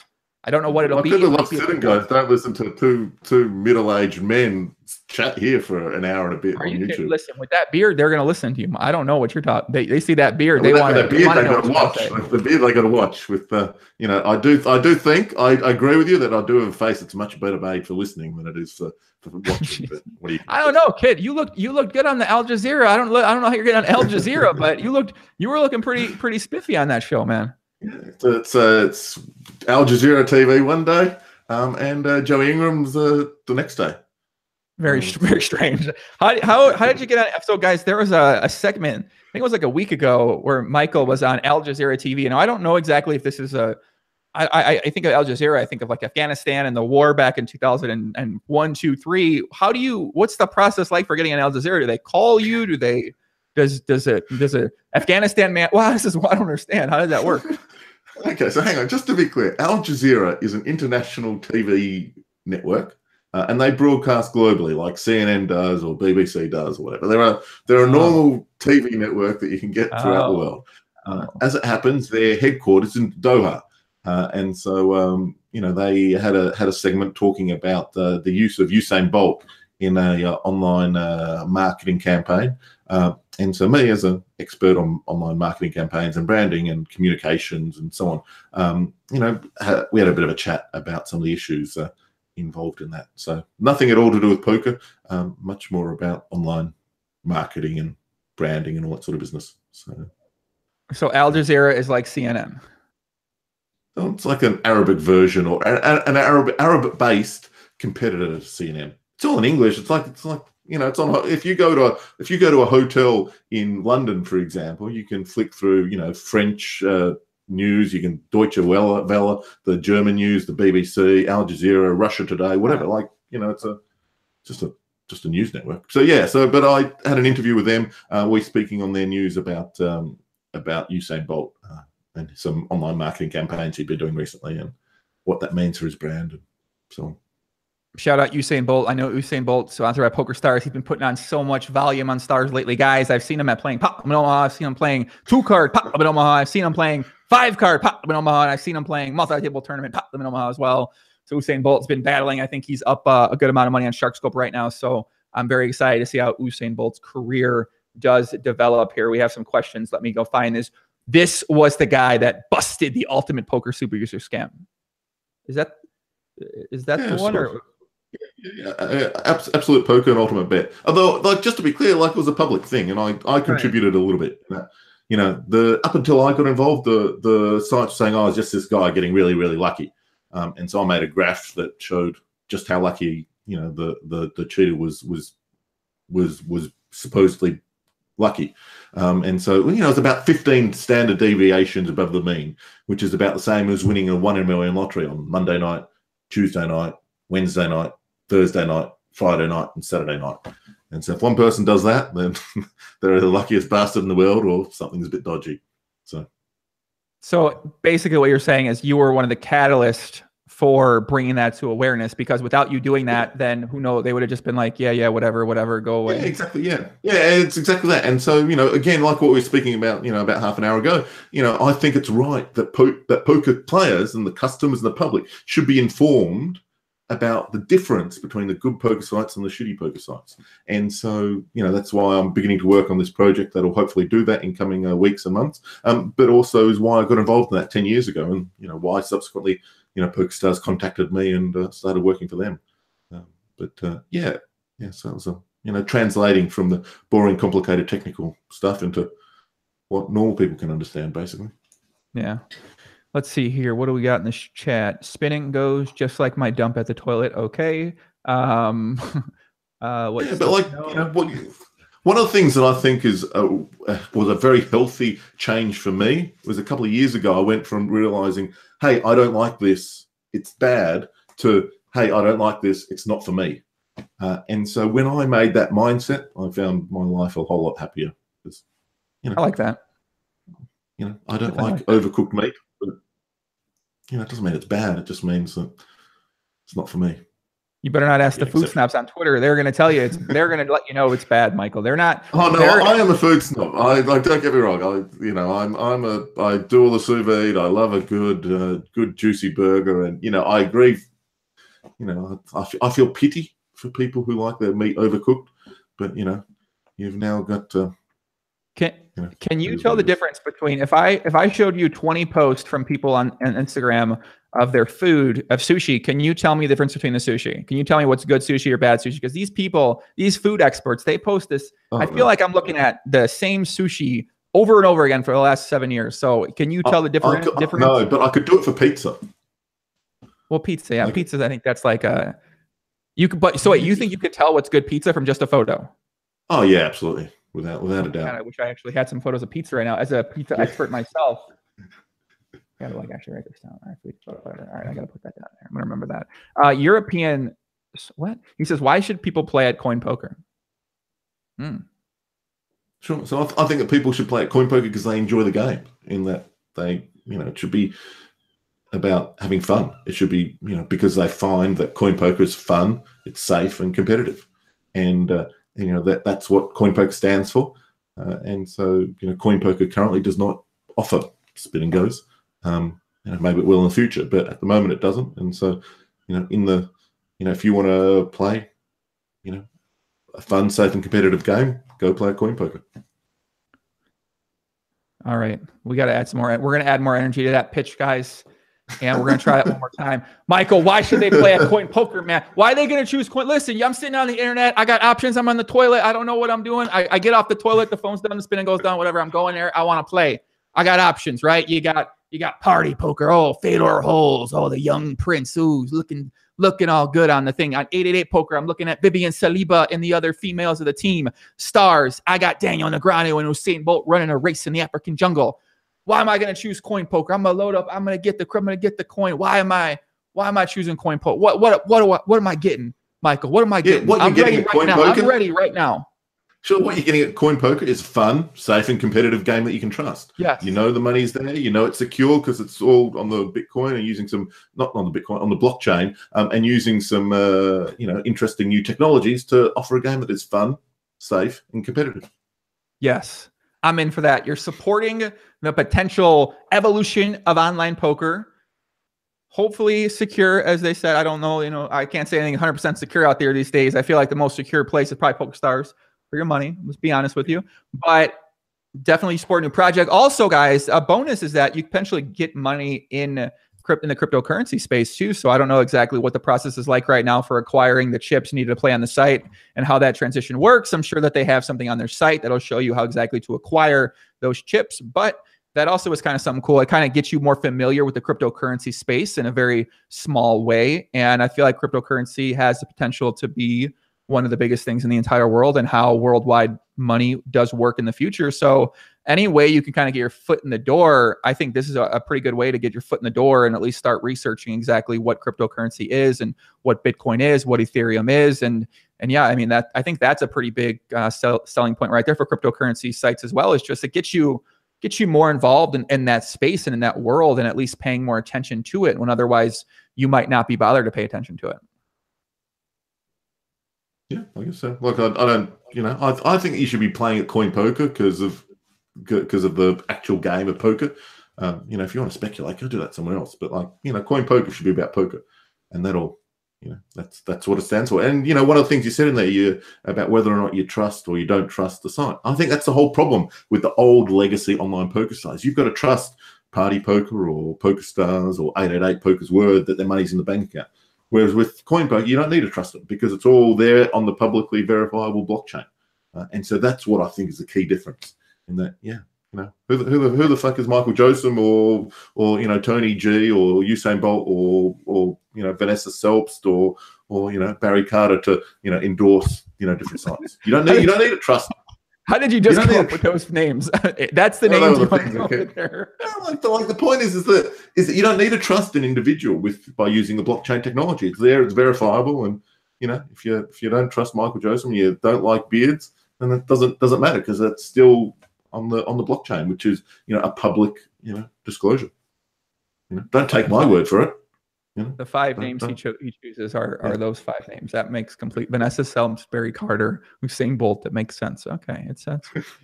that makes sense, guys. And guys, if you do want to sign up by the, if you do want to sign up by the way, use the promo code Gummy Worms on Coin Poker. You say that the podcast sent you. They're going to give you uh, one million dollars in free free Coin Poker chips as well too. So yeah, you just use that promo code in there.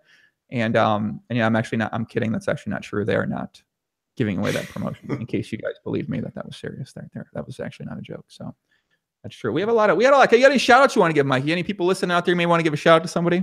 Yeah, there's one person in particular, a great guy by the name of Karen, Callum Morrissey, uh, oh. and he lives here on the Isle of Man. I'm here on the Isle of Man, by the way, a little island in the in the in the in the Irish Sea. Uh, and so when you when you tweeted uh, uh about the other day that I was going to be here with you, he was uh, so excited that two of his favorite men in the whole wide world, Joey Ingram and Michael Josem, were both going to be on the podcast together. And so he is, you know, perhaps potentially, I've heard it said that he is one of the Isle of Man's finest footballers to never have played professionally. uh, and uh, and and he is a you know an elite elite machine, an athletic uh, uh, superhero um, to a lot of people. And uh, yeah, so hi to Callum. Hope you're still watching, and you know, I, um, I hope you could have enjoyed the last 80 minutes of uh, of uh, me and Joey with our man love Wow. for each other. Yeah. Wow. That's how you give a shout out to someone right there. Pete, take notes, anyone that comes in the future. That's how you shout out a friend right there, man. Allegedly, one of the if it's a best football more of an players to. I More of an like that. Hmm. Well, I'm gonna give some shout outs here. Let me see what we got in the chat. We got is Benny. Look, don't touch. What's up, Poppy? What's happening? John Remy asking a bunch of weird fucking questions today, but I got love for you, John. Much love. You asked me, can I twerk earlier? First of all, that's really weird. Why would you ask me that? Second of all, of course I can. And by of course I can, I mean I have no idea how to do that. We got my boy Harbs out there in the chat. What's up, Harbs? What's happening, Big Poppy? What's going on? Martin Vander Erst, Poppy. What's happening, brother? First step forward. What's up? Using my last name Ingram. Uh, That's okay. Not many people use my last name Ingram, but that's cool. Ian Griffin, my guy out there. What's up, Ian? He said, check my Instagram message. I will. I'll see what you said. Connie Dobbs, there's no way you're actually a woman. Stephen S out there. What's up, Stephen? Noob Neil in the chat. Joey used your promo code for Poker Go. Subscribed a few days back. Thank you, Noob Neil, for the contribution to the fund. Dirk Van Geck. I've never seen your name, but what's up, Poppy? What's happening, brother? Zachary Weatherford. John New. I'm in Boston, and you're my favorite Poppy. Thank you, Zachary. Much love. Shout out to Boston. Shout out to the win. Shout out to my boy Steve McLaughlin. Just moved out there. And uh, and yeah, man, I'm excited to be back on the podcast, guys. We're gonna be back tomorrow with my with Donnie Peters. Da- David, I don't want to keep calling Donnie. It's David Peters. I, I feel like I have Donnie Peters and David Peters. I've said this wrong to myself like 55 times. Do you know Donnie Peters for he works for uh, I think World Poker Tour right now. He used to work for Poker News, Michael. Yeah, yeah, good guy. Yeah, I, I, keep confusing the names Donnie Peters and David Peters. David Peters, one of the best tournament players in the world. Donnie Peters works for WPT, former for Poker News as well. I gotta have those in my mind. But that's tomorrow night, guys. A little Saturday. Grab your wine, grab your girl, grab your husband, grab your boyfriend, grab whoever you want to grab, and join us tomorrow night, 6 p.m. Uh, Eastern time. So, Michael, what can we expect from you, kind of coming up here in the future with uh, with the coin poker, and which is what you're doing in general? Yeah, well, first of all, I've got some exciting news for you, Joey. Um, I'm uh, I'm no longer in a hurry to leave tonight, so we can uh, we can uh, go as long or as short as you like um, before you get bored of me. Um, so I love What hanging out with you so much. Yeah, uh, uh, change of plans. Don't worry. Um, so uh, what's the future hold? Um, good question. So I'm doing a bit of uh, freelance work for a whole bunch of different uh, businesses. Uh, doing some other stuff in the cryptocurrency space with some other other brands, some other companies, um, and uh, you know, basically just staying out of trouble mostly. So As as de- So- as descriptive as that was, I'm going to ask a follow up. What kind of stuff you working on, kid? What are you What are you doing? uh, yeah, just uh, you know, like obviously I was the head of public relations at PokerStars for four or five years or something, four four, four and a bit years, uh, and uh, and uh, and so yeah, so just doing some work for some different businesses there, um, some that uh, that are keeping me entertained and keeping me uh, in heating and electricity and uh, allow me to not be homeless, which is a, a nice combination. Thank God. What about you? What is the future? You don't, you don't answer many questions on this uh, podcast. I see. What's your uh, what, what does the future hold for for Joey Young? Man, I don't, I don't know. Hey, if somebody can answer this question for me, I'm gonna pay them a lot of money because I don't. I, I'm I'm like I'm taking it day by day. I'm I'm trying to figure out what I want to spend my time doing. I'm really enjoying doing the investigation stuff right now. Just kind of looking more into into different companies and seeing how they operate, seeing how business works, and and sort of seeing those kind of things. So I've been kind of doing that. There's not really much great places for me to play online Pop Omaha right now. So and I, I've kind of I don't know. I'm just kind of going back and forth on what exactly I want to do in terms of playing poker. And yeah, man, I don't know, trying to figure out my life, trying to take it step by step, trying to get better at organization and planning and uh, those little small things that kind of build a bigger foundation of who you are as a person. And I've, I've never been planned, a big planner, never been a big organizer. I've and and I've sort of I'm trying to expand my operation and just what I'm working on in life, and I'm realizing that I'm having these breakdowns and trying to do these things because I never really learned how to do these things on a small level. So when I try to do new things, I just struggle with it. I can't execute. I'm not being disciplined and being consistent with doing it. So trying to just re rebuild a lot of those things in my life. And um and yeah, put out we're gonna be doing two podcasts a week here coming up for the foreseeable future. Otherwise I lose five thousand dollars and have to play 10 World Series of Poker events this summer, which I'm definitely not gonna do. So there's no way yeah. So yeah. I don't know. I'm just trying to figure out what exactly I want to spend my time doing. Pretty much where I'm at sounds, right now. Sounds to me, forgive me, this might be a bit too confronting and personal, but you spoke there all about uh, vocational employment orientated stuff. What about family? Does uh, does Joey have plans to have a family? Like uh, your community? Do you have like uh, you know outside of the broadcasting booth? Do you you know? Yeah. What, do you have any I mean, plans there? That sounds like my mother. My mom asks me this question all the time. Poppy, when are you going to get, get, well, she doesn't say me Poppy, let's be honest, but when are you going to have kids? When are you going to get married? I, I don't know, man. I'm, I mean, I'm not really in a big rush to, to do that. I'm not, I'm not asking when. I'm like, is that something of interest to you? Or I don't know. Definitely. Yeah. Yeah. I think I'm open to it. I'm not like totally super like closed off where I never want to do something like that. And I'm definitely open to it. I don't know when it might happen. It might happen next week. It might happen in a two years from now. It might, I mean, literally, it might happen next week. You never know with me. So yeah, I'm definitely open to it, but not necessarily. Look, look out, ladies, if you hang out with uh, Joey next week, uh, that could be a bit dangerous. Oh, but uh, they could. Some people they want to. They want. To, I mean, I'm very happy. My audience is all men, Michael. I'm going to be honest with you because if it was women, I don't know what I, I don't know what I. It, it, I mean, the guys are crazy enough. I can't imagine if these were then women and they were trying to they were trying to to you know get me out of line with them. So I don't know. It'd be it'd be a little bit yeah. You're a, you're a victim. Yeah, I was I was listening to a, a, a really interesting podcast the other day and talking about what makes people's happy in life and talking about those four things: a vocation of the work, of of their community, uh, of uh, family, but also some degree of faith or you know bigger commitment to you know life, something bigger than just uh, life. So. So some type of like like like like church religion, or is it, just? It could be church, you know. It could be you know, it could be some sort of uh, you know environmentalism or something. Is the modern day religion, right? Um, you know, there's something like that. But uh, yeah, I don't know. Maybe it's just your crusade against uh, um, bots and and so on. So uh, yeah, I think it, I think it could be. I mean, I've been watching uh, about Charles Manson. I'm not going to shout out Charles Manson. The guy's a psychopath. Charles Manson was a cult leader back in the 60s or 70s, I believe. And there's been a bunch of good shows lately that I've been watching about him and uh, 60s, 60s. So, and he basically they he was the higher purpose. He was the god to people. So I've been thinking about starting a cult potentially.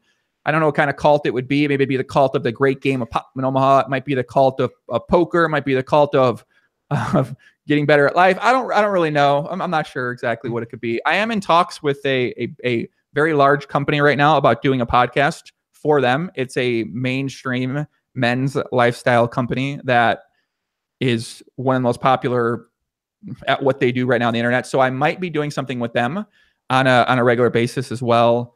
And I don't know, I've been really thinking about maybe pursuing a more mainstream podcast too and having more mainstream guests on and seeing what I could do. I've always kind of wanted to do a mainstream podcast. That was my five to 10 year goal when I first started was create the best podcast in poker and then take that on a bigger level and just have on people from all over the world on. So I'm considering doing that more. I know that would sacrifice the time I put into poker, the time I put into poker content and just thinking about poker. So I'm hesitant to want to do that, but it's been on my mind as something I, I'm thinking about doing.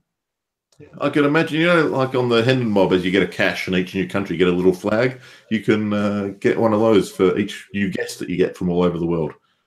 Yeah, I, I I'd be curious to see if I how many people because I can you can see who watches the show and there's I think almost every country's been on there at some point in time, but I know I haven't had a guest from every part of the world, and that actually be pretty cool to do is do some sort of challenge in one year or two years where you ID you want to get a guest. That's actually I gotta write that down. It's a pretty cool challenge. Yeah.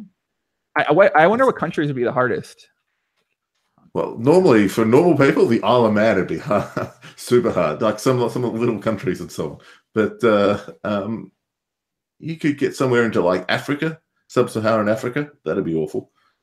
Um, yeah, North Korea be... would obviously be the nut hardest. That would actually be really hard. I don't know if I could find like a native Nigerian to, uh, that lives in Nigeria to come on the podcast. It might. I don't think I'd want to do someone who is an expat. I guess maybe expat I could do, or someone I don't want to do someone who's traveling, but I'm actually going to look more into this. North Korea, you're right. We probably cannot get North Korea. That's true. But it would be a test to see if we could get North Korea. Can you imagine if we got North Korea, guys?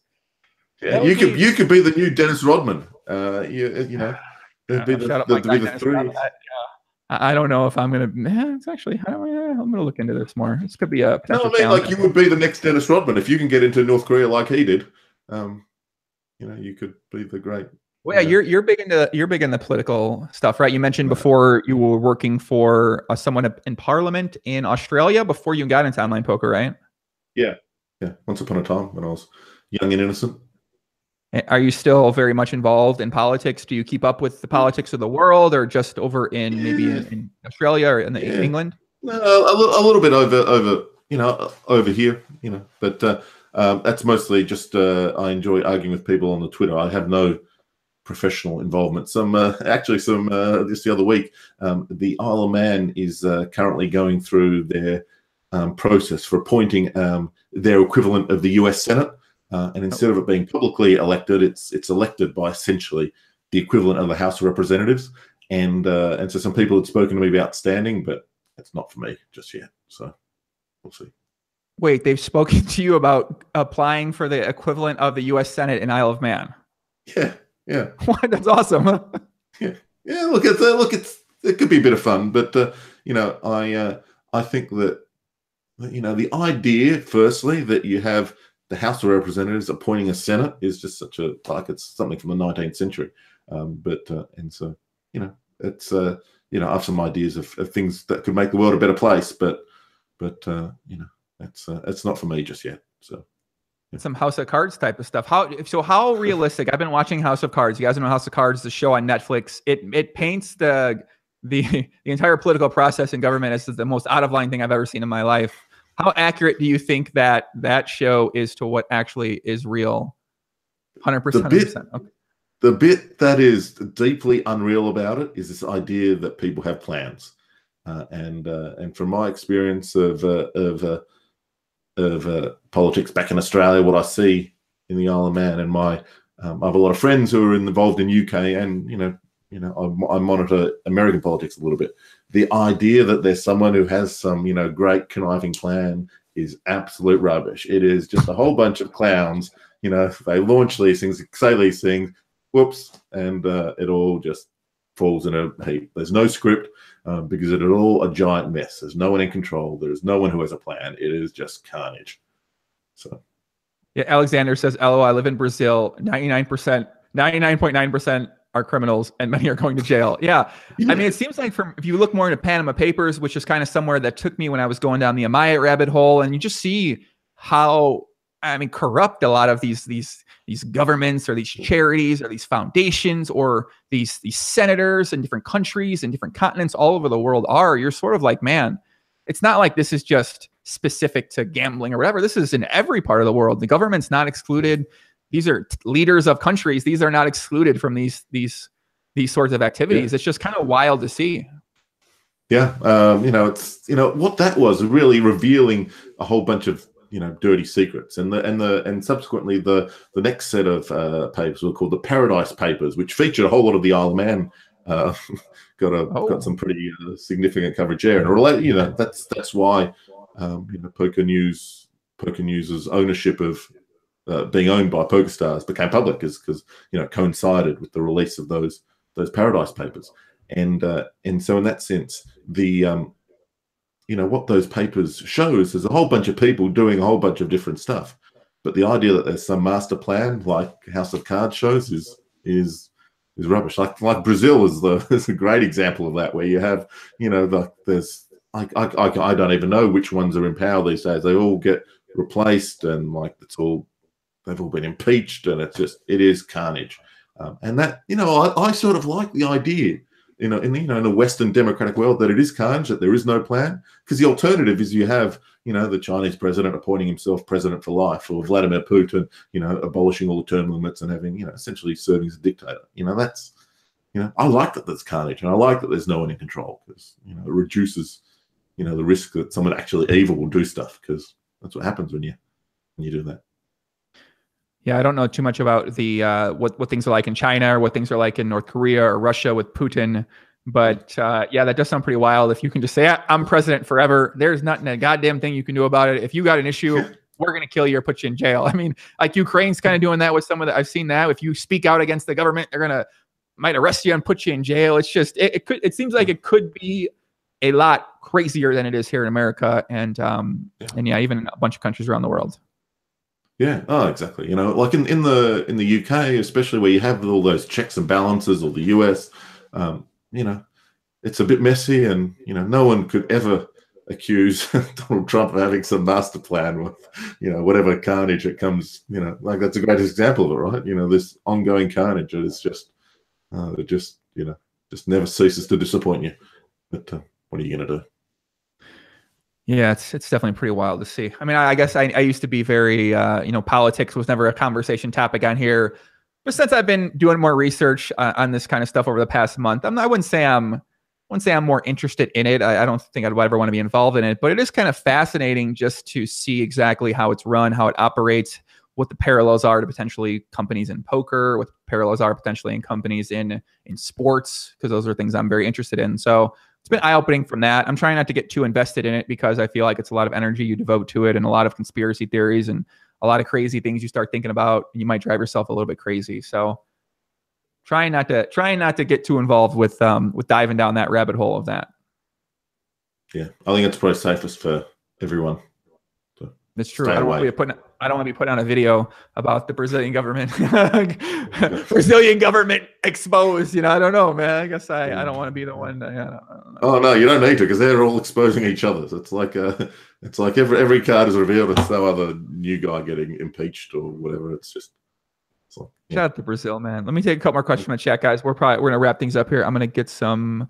I don't know what I'm gonna do. I've never. I haven't been awake this um this early. So I don't really know what I'm what I'm, what I'm doing. Adult human almost. What do you say? You're almost like an adult human, you know, getting up in the morning and. I don't. I don't like this narrative that to be an adult you need to wake up at an early time. I don't like this narrative. I think an adult should wake up anytime he wants to wake up. Sure, that that that that's true. But yeah, I agree. I think there is a degree of there is a degree of adultness in in taking on board the difficult challenges of life and the routine and you know getting up and, and doing those tough things in the morning. That is that is definitely a great point. I do feel like there are things that that there are benefits to waking up at a at a structured time that can benefit to other structures in your life. And if you do have a completely out of line structure in terms of your sleep that that has to I'm, I'm, I'm sure it has to for myself. It has to carry over into other things. So if you can't structure your sleep which is one of the things you do every day how are you going to structure these more complicated yeah. tasks and things? And and yeah i definitely think that's a really good point though.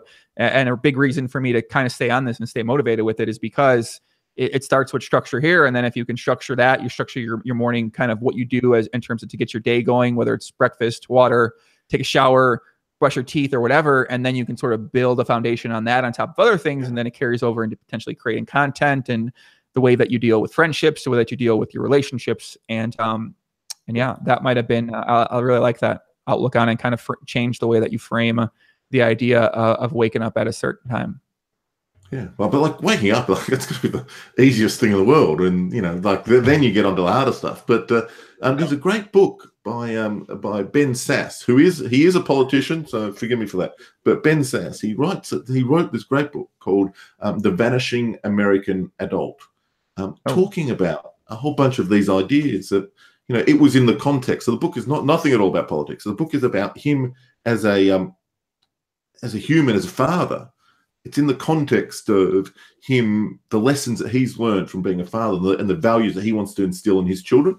Um, but for me, you, you know, I do not have any children that I, that I know about at least. Um, I took it in a slightly different context, which is about life advice, and I find it quite find it quite um, uh, inspiring and powerful message. This idea of getting up and doing work because it's productive and because it's good, because it's you know it's not just you know about doing the things that are easy, but doing the things that are hard, um, which are much more satisfying and much more, you know, soul um, and personality and character forming.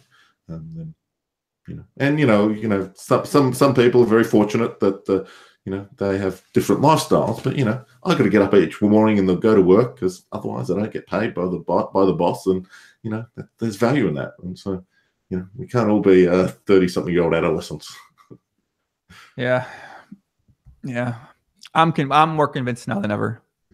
I'm gonna check out this book. Actually, it sounds like something I can I could very much benefit to uh, from reading. So, but yeah, that's my next step. That's what I'm working on right now, Michael. I'm working at kind of getting these things in order. Good.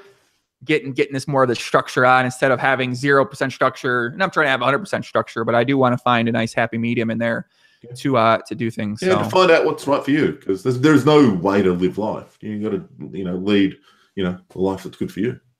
Yeah.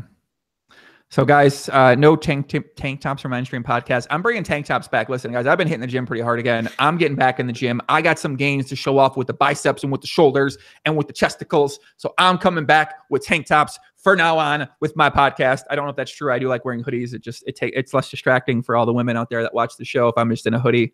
I don't want you guys staring at my sexy my sexy muscles. Josem obviously took the same route. He didn't want you st- staring at his. I did think about hoodie. wearing the. Uh, I did think about wearing the the tank top, but uh, um, instead I'm wearing a, a shirt and a cardigan. So the the ladies would have been happy to see you your muscles and see your your your hairy chest, my friend. They would have gone well with the beard. They would have been hitting you up nonstop. I, I thank you for not not doing that because you would have taken away my ladies. The content of my character. Yeah, they they- they certainly might have thought they might have not listened to you when you talked about security. They might have thought only been thinking about your hairy chest and your tank top you had on. So I uh I very much appreciate that. Rayon says, Am I wearing pants? I am actually wearing pants today. Michael, are you wearing pants today? Yes. I don't know. There's like a there's a a, a, a small chance you're just not wearing pants. I don't know. So who knows, man? I am wearing pants though. Thank you for that question, Rian. I do appreciate your questions as always. So, but yeah, Michael, where can people find you if they want to come find you? You on Twitter, right? Where do you want to where do you want to send the people out there? Yeah. Look, I'm on the Twitter at uh, at at Michael Josem, but uh, um, you can also. Hey, actually, what I'm uh, now doing, if you actually want to come and find me, my house is now available for rent on Airbnb. So if you do want to come stay at the Josem Castle of Freedom, you look it up, Airbnb. It's a spacious Central Douglas apartment, beautiful views. Um, not not in this room particularly, but you know, broadly. Uh, the uh, the uh, yeah, yeah, Josem Castle of Freedom. Um, but yeah, you can follow me on the Twitter or at Michael Josem. So Yeah. if we're in Isle of Man, we want to stay at your house. We go. Do we put in Airbnb Josem Castle of Freedom? Is that what we search? What are we searching here? Yeah, what do you? I'll, I'll have to put it up on my website or, or something. But no, if Yeah. you're just a, a spacious Douglas apartment, so it's just down by the sea. It's a, beau- a beautiful seaside apartment. I need you to go back and watch what you just said about your house. And then I need you to go back and watch what you said about coin poker. You got to keep that same energy up when you're speaking about coin poker. You spoke about your house, man. I want to stay in your house right now. You sold me on staying in the house. You spoke about coin poker. I didn't feel that. I didn't feel that same energy, man. So you need to go back, check the tapes, get in the lab, see how you brought that energy, and then bring that energy for coin poker, man. Yeah, well, like you know, coin poker is it's, it's you know it's serious. It's about changing the face of poker. It's about you know being a trustworthy, um, and you know, blockchain is not not nearly as sexy as uh, spending a night at my place, right? Damn! Whoa! What do we? Uh, wait, what bonus value prop? Are we sharing a room? Is it? Do you have a separate room? Like, what? What exactly are you offering on this Airbnb service? look, we we can negotiate that exactly. Um, but uh, Yeah, man. No. Whoa! yeah, Wow. Okay, I see what you have in here. You know, I've thought about this strat, Michael, as well. Maybe rent. Maybe I'll rent out my second room for guests that want to come stay here, and then Yeah. you can see the guests who apply, and you only approve a certain GTO. Get that's actually not a bad idea. Huh? Um, I don't know exactly exactly what you had in mind there. However, I did have a one of my very best friends. Um, her name was Ali, um, and she was uh, renting out her place on Airbnb, um, and had a had a lovely gentleman come and stay in um, in in the US, and uh, they got they you know one thing led to another, and they hung out, and uh, and one thing led to another. They got married, and they had their ch- first child last year. Yeah, Airbnb marriage, Airbnb babies. That's uh, that's not. By the way, just just to be clear, Joey, you and I are not having babies if you stay in my place in the Airbnb. But um, yeah, it's a thing. I'm gonna get you pregnant. What are you? T- I, I'm stay. I'm getting you pregnant. That's my goal when I come there. I, I kidding me? I'm already, I already have goal. the gut to show Get you yeah. pregnant's my goal. What are you talking about, man? I don't know how by any means necessary. I'm going to try. I don't know if it's possible yet, quite yet, for men to get pregnant. But I'm gonna, we'll adopt a kid. We can adopt a little Nigerian baby. We'll call like him. if you- we'll call him Pot Limit Omaha. First name Pop, middle name Limit, last name Omaha, and uh, I don't know. That sounds like good. It'll be like an episode of Twins. You can, you can be Danny DeVito. I'll be Arnie. That's fine. You got to talk like him, though. That's completely fine. You you got to be him. That's crazy. She Yeah. she she got married to the guy that that's crazy. That's wild, right there. Yeah, like it took. Obviously, it took uh, you know a couple of years in between. Uh, but yeah, This is Yeah. some GTO I never thought of, guys. Renting out your second room on Airbnb. I mean, I actually, I, am going to be honest. I've heard of people doing this before. I never put much thought into it. It, it seems pretty GTO if you live in a big. city. I don't know. I'm now my like. My, I, I, think if you if you're doing it with as a way to to meet romantic partners, that's creepy as hell. Don't do that. That's that's terrible. But you know, some some things lead one things lead to another, and uh, and it can you know you can find beautiful relationships in the most weirdest of places. But uh, but uh, yeah, don't don't do it because you want to you know pick up a girl. Do it because you know you have a spare spare room and you want to do something with it. I, I'm I'm seeing your mouth move. I'm just not hearing what you're saying when you when you say that. So I, I don't I totally I didn't hear what you just said. I, I don't I don't yeah I don't I don't know. I didn't hear that. But so if you guys if you guys want, let me know if you want to rent out my room in Las Vegas, the Papi's Palace, aka Papi's Kingdom, aka Spare Bedroom City, aka Looking for Love. And uh, if you're an Isle man, of course, check out Michael's room. If you're interested, hit him up on Twitter at Michael I Josem. Think you've got it there. Puppy's Palace. Puppy's yeah, Palace. Papi's, Papi's Palace. Palace. Yeah. Yeah. That's it. That's beautiful. This is my palace, baby. You can be on a podcast. You want to be on a podcast? You want to be sitting on this bed during a podcast? This is your shot. That's uh, such a compelling offer. You're invited, but don't get me pregnant, okay? You're invited, but you can't get me pregnant, please. I'd, I'd appreciate that. Yeah. I'll, Thank you. I'll try not to. Uh... Thank you. Guys in the chat. Whoa, whoa. Guys in the chat are getting excited. Calm down, guys. Calm down. Calm down. You so, can come sit here if you want. Please submit your resumes. Please calm down. All right. What's the rate on that room? That's a great question, Clint. I'm glad you asked. What's the rate on your room? What's the what's the uh, what's the going price going? Well, there's actually no. There's a great rewards program. It just got slashed by. No, there's a, there's a there's a uh, there's actually a 15% offer off in uh, in the month of May, uh, and so uh, yeah, so. So Michael, I actually, I, I, I you know, I've, I've known about Michael's room that he rented for a while because I had a friend go to Isle of Man, but she ended up staying in a hotel. And previous back like six months, uh, on on the offerings, he was offering free breakfast. He was going to cook the breakfast he had a voucher potentially for a, a, a, dinner or a meal or something like that, like a lunch meal, like an added value bonus. I think he put like three tw- towels in the bathroom. He had a, a, big, a big like 60 inch TV in the room if you wanted to check out the room. And then she went back like uh, five months later and looked at what's offering, and the TV was like, uh, like a 20. I don't know. They got a tube TV in there. The free breakfast, the free dinner's gone. And all the other value options were basically taken off. You had to pay for internet. I never even heard that in Airbnb. And I don't know if well, Michael was inspired there's one, there's one exception. That is, you do get free broadcasts of every one of uh, of Chicago Joey's podcasts. They God come damn, like they get piped. They get piped right throughout the house. There's speakers in every room where you can enjoy listening to every moment of the dulcet tones of Joey Ingram. Yeah. That's crazy. That's that's a cool value right there. That's great fun. Yeah, look, it's you know some people would pay you for that. I mean, some people are. They, they, definitely would. I mean, I, think it's cool that you decided to be inspired by the current changes by Amaya. Obviously, your former employer, Poker Stars. You decided to cut the value rewards for your regular clients and uh, whatever it is. What it is. no, my, my Other, first customer, my first visitor, is staying tomorrow night. So, uh, yeah. is this really happening? Yeah, it's really happening at the at the Josem Castle Freedom. It's uh, it's so you get to choose who stays in your room, right? You can pick who stays there. Yeah, it's like yeah, yeah. That's how Airbnb works, right? I'm not. Just to be clear, I'm not going to be here at the same time.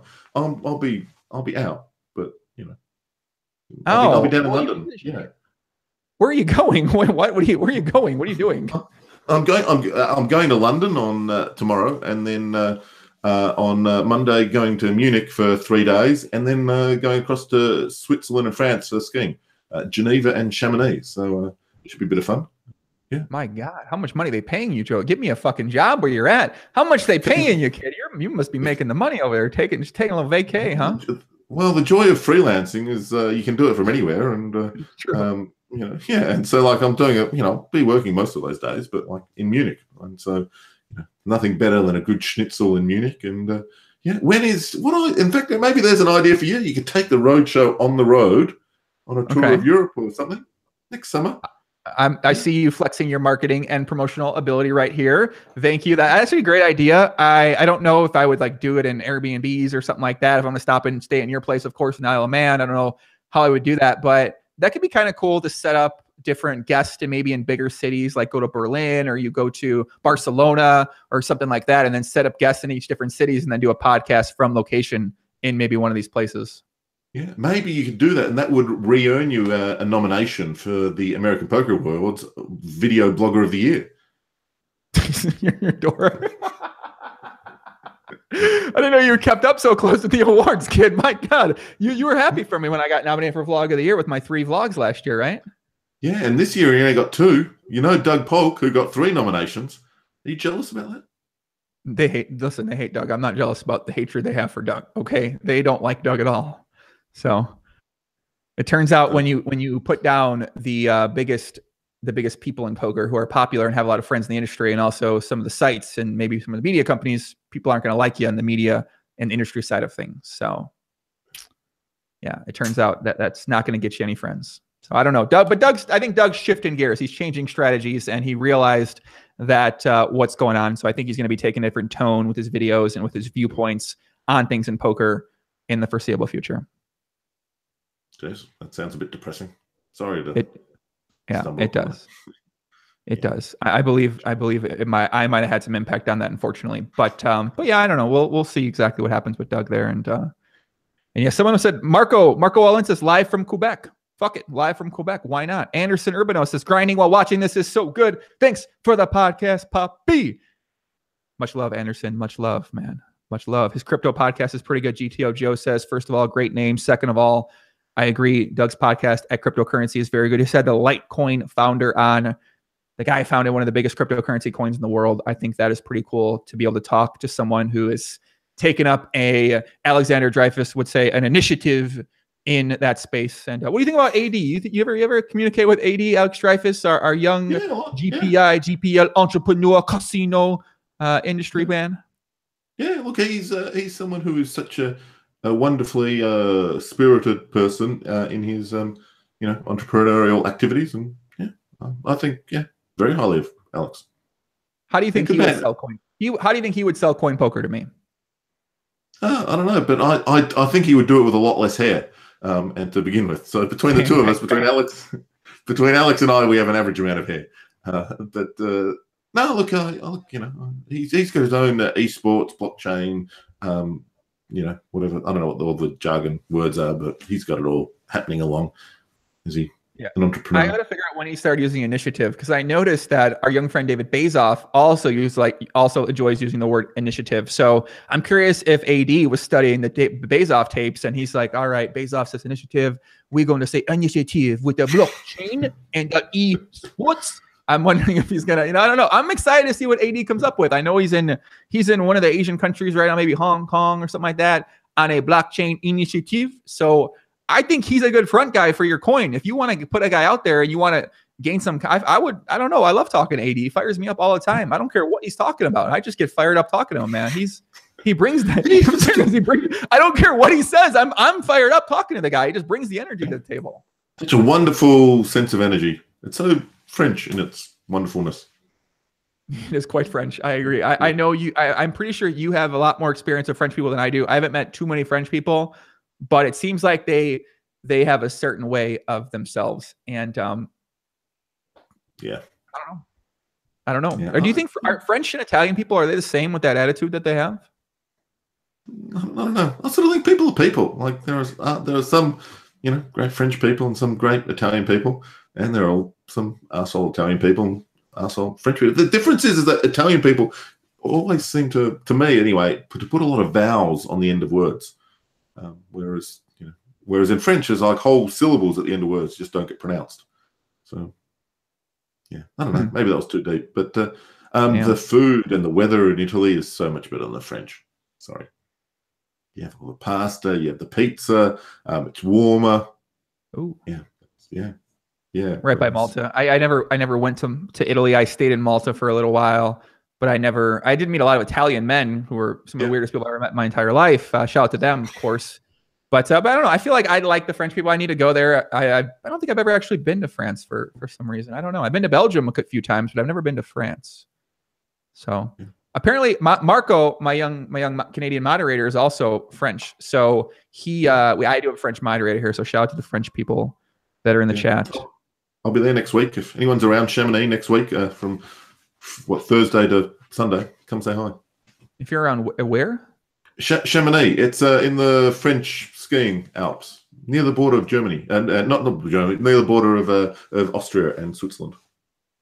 All right, listen. If some, if one of you guys goes and shows up where Michael just, I don't know where he said that is. If one of you guys actually goes and shows up there and takes a photo with you, with him, I'm gonna give you another. I'm got a lot of rewards given out here, guys. I've been inspired by the chess program and the and the loot boxes on Poker Stars, the fucking wheel they have that spins around sometimes. I'm inspired. I'm gonna give you guys a reward to spin the wheel or open up a loot box. If you go where Josem just said, I cannot repeat. I, once again, I don't know where exactly what he even said, but if you go Chamonix. there and take a photo with him, Shamanama, Chamonix.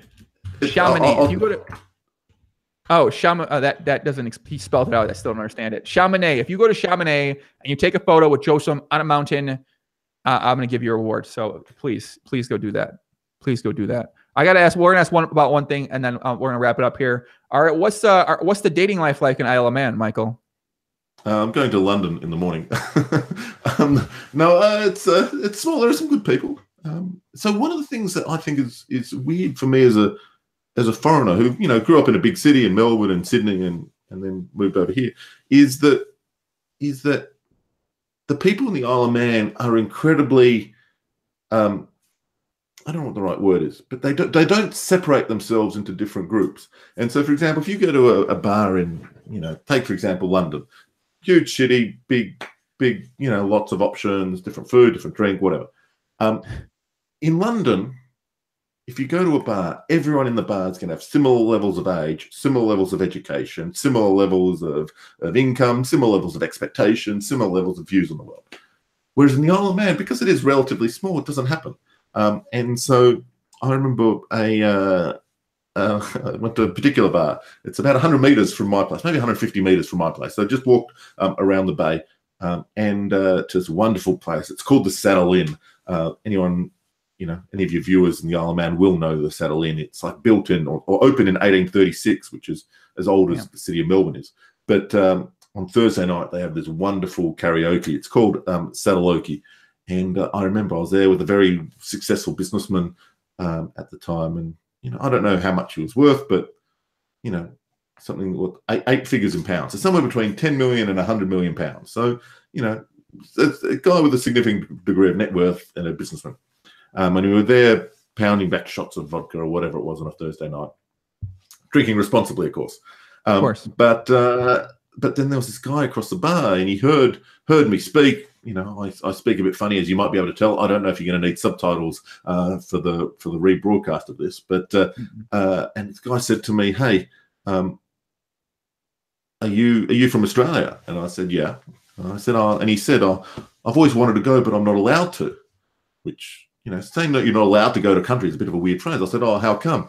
And he said, "Oh, the manslaughter conviction," and and there is, you know, so there I was. It was entirely normal and accessible. I was there at the bar with a guy on one side who's worth, you know, over ten million quid, uh, and on the other side, some guy with a manslaughter conviction. And let me give you the hot tip: there is no bar in London um, where you can have those two experiences, two people. And so, one of the great things about about dating and and people in the Isle of Man is that there's so there's no separation there between you know what different people are, and so everyone is in a you know in it together, and it's super accessible. Um, and so I quite like that. You know, even for me as a foreigner coming inside as a you know as a relative outsider. Um, you know, I'll be I'll be I'll be Manx later this year. Um, but for the meantime, that was that to me was the biggest you know something interesting about about dating in the Isle of Man. In the same way that um, I read an academic study the other day about Tinder, and it's apparently having similar effects on uh, on interracial marriage in the in the hmm. US. In that, that, that there's been a sudden surge because 20, 30 years ago, our parents, or you know, 40 years ago, our, our parents' generation, they only, only dated and met people in their own pre-existing social circles. Whereas some of this new stuff, is, you know, people are meet, mixing and, and meeting so many different new people. Um, it's you know changing our society. So that's one of the great things about the Isle of Man is you get to meet different people with different experiences so easily and accessibly. And, you know, you can all, no matter how terrible you are at singing, everyone can stand up at the Saddle Inn on a Thursday night and, and do some terrible karaoke. So basically, what Michael just said is he is playing a very balanced and GTO range when he is very wide range. That's what you just said. You said you're you're, you're it's, it's it doesn't even you don't have to do it. It's just Isle of Man the way it's structured sets up for you to play a very nice balanced GTO strategy when it comes to dating. You're able to balance your demographic range. You're able to balance your your type of women range, nationality range, career range. And yeah, I, I enjoy that as well. It sounds like a pretty cool setup. Whereas you mentioned in London, you if you want to balance your range properly, you have to go to different parts of town, maybe take Yeah. different transport. Might take 35 minutes to get there if you fully want to be completely in the whole entire GTO spectrum of ranges in s- different situations. So yeah, I, uh, I I quite like that as well. Very unexploitable. I agree. There is you cannot exploit Michael's approach in Isle of Man. I agree. Yeah. Well, you also don't have a choice, right? So there's only you know half a dozen different bars that are open, and you know that's an exaggeration, but you know the point is, is Yeah, that sounds fun. that sounds really fun. Yeah, you what's mentioned dating life? What's dating life in the Isle of Man- in uh, Las Vegas for for the puppy? slightly different. But, you know, I'm just here, man. I'm just here. I'm doing go to work, do my job every day, Mike. I wake up, I, I uh, try to be try to just take care of myself, take care of myself, and uh, and yeah, very uh, yeah, it's interesting, fun, Yeah. exciting, Good, good. distracting. I can only imagine. Yeah, very fun. But yeah, you mentioned actually you mentioned Tinder and uh, those dating apps. I didn't think about that. I'd be interested to read more about that because you're very like that makes sense, and that's the great thing about about the online dating apps is that you're able to meet people in different demographics that you'll never meet in your entire life. You'll never meet these kind of people, whether it's younger, older, career women, creative people, creative men, whatever it is. You're able to meet such a wide demographic, and as you mentioned, you're able to meet black people, white people, uh, Mexican, and you might not never, you might never go meet any black people. You might never ever meet any Mexican people. So I think that is pretty cool of a thing, and probably it works for the same like the internationality sort of thing like that, where maybe you'll meet someone who's visiting from Australia or meet someone who's visiting from Japan, and you might never meet these people, but you get to meet them through an app like this, and and yeah, I think that's a really cool thing that I, I always advocate for it for people out there to meet people because it's just you can meet different types of of, of people out there. You're just I don't know, you're never going to meet. I find that part very cool for me. That's one of my favorite things about it. Gotta check this out. You sent me a link to a. Uh, I'm gonna check this Yeah, out. uh, just talk about some some of the data there that uh, that, that shows it. But uh, the um the uh, the thing about the Isle of Man is that you know obviously it's off the coast of halfway between the UK and Ireland, um, and it is not quite so uh, racially um, diverse as it were. And so it's um, you know certainly for me growing up in uh, Melbourne and Sydney, um, you know there was something like in, when I was living in Sydney, something like six different sushi restaurants within hundred meters of where I lived, whereas you know, it took five years for the first one here in the Isle of Man after I moved here. So, so it's different, but it's um, you know, it's a really good Where'd you, what, So, what part of Sydney do you live in? uh, uh, a suburb called Chatswood, so Hmm. just north of the city. Yeah, I lived in the CBD there for like six months, so Yeah. I got a little, I got a little exploration of of Sydney in my belt, and I don't plan on going back anytime soon. So Yeah, yeah, yeah. shout out to Sydney for uh, shout out to Sydney. Great, we're- Sydney. It's a place, man. But yeah, guys. All right, if you guys want to follow Michael, check him out on Twitter at Michael Josem. If you want to stay in his house, check him out on Twitter at Michael Josem or on Airbnb at the Josem Palace, aka you got to go back and, and listen to the description. He told you what the description was. If you take a photo with him in his mountain expedition in a place, once again, I cannot understand the name, Chaminade, uh, you get to spin the wheel and open up a loot box. Papi's loot boxes. You'll be able to open one of those loot boxes as well with a var- variety of awards. Uh, Chris M said this guy could be a double for the most interesting man in the world. I completely agree. We might start that foundation ourselves.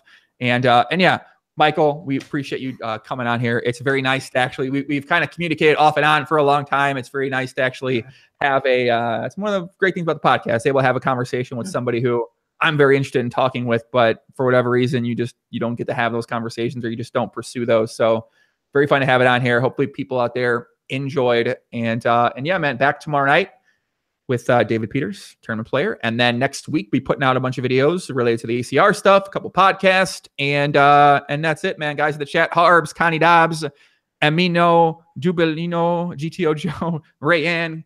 And uh, yeah, man, thanks for all the comments, questions out there, guys. Very much appreciated as always. And uh, yeah, see you guys soon. Peace out. Adios. Much love. See you later.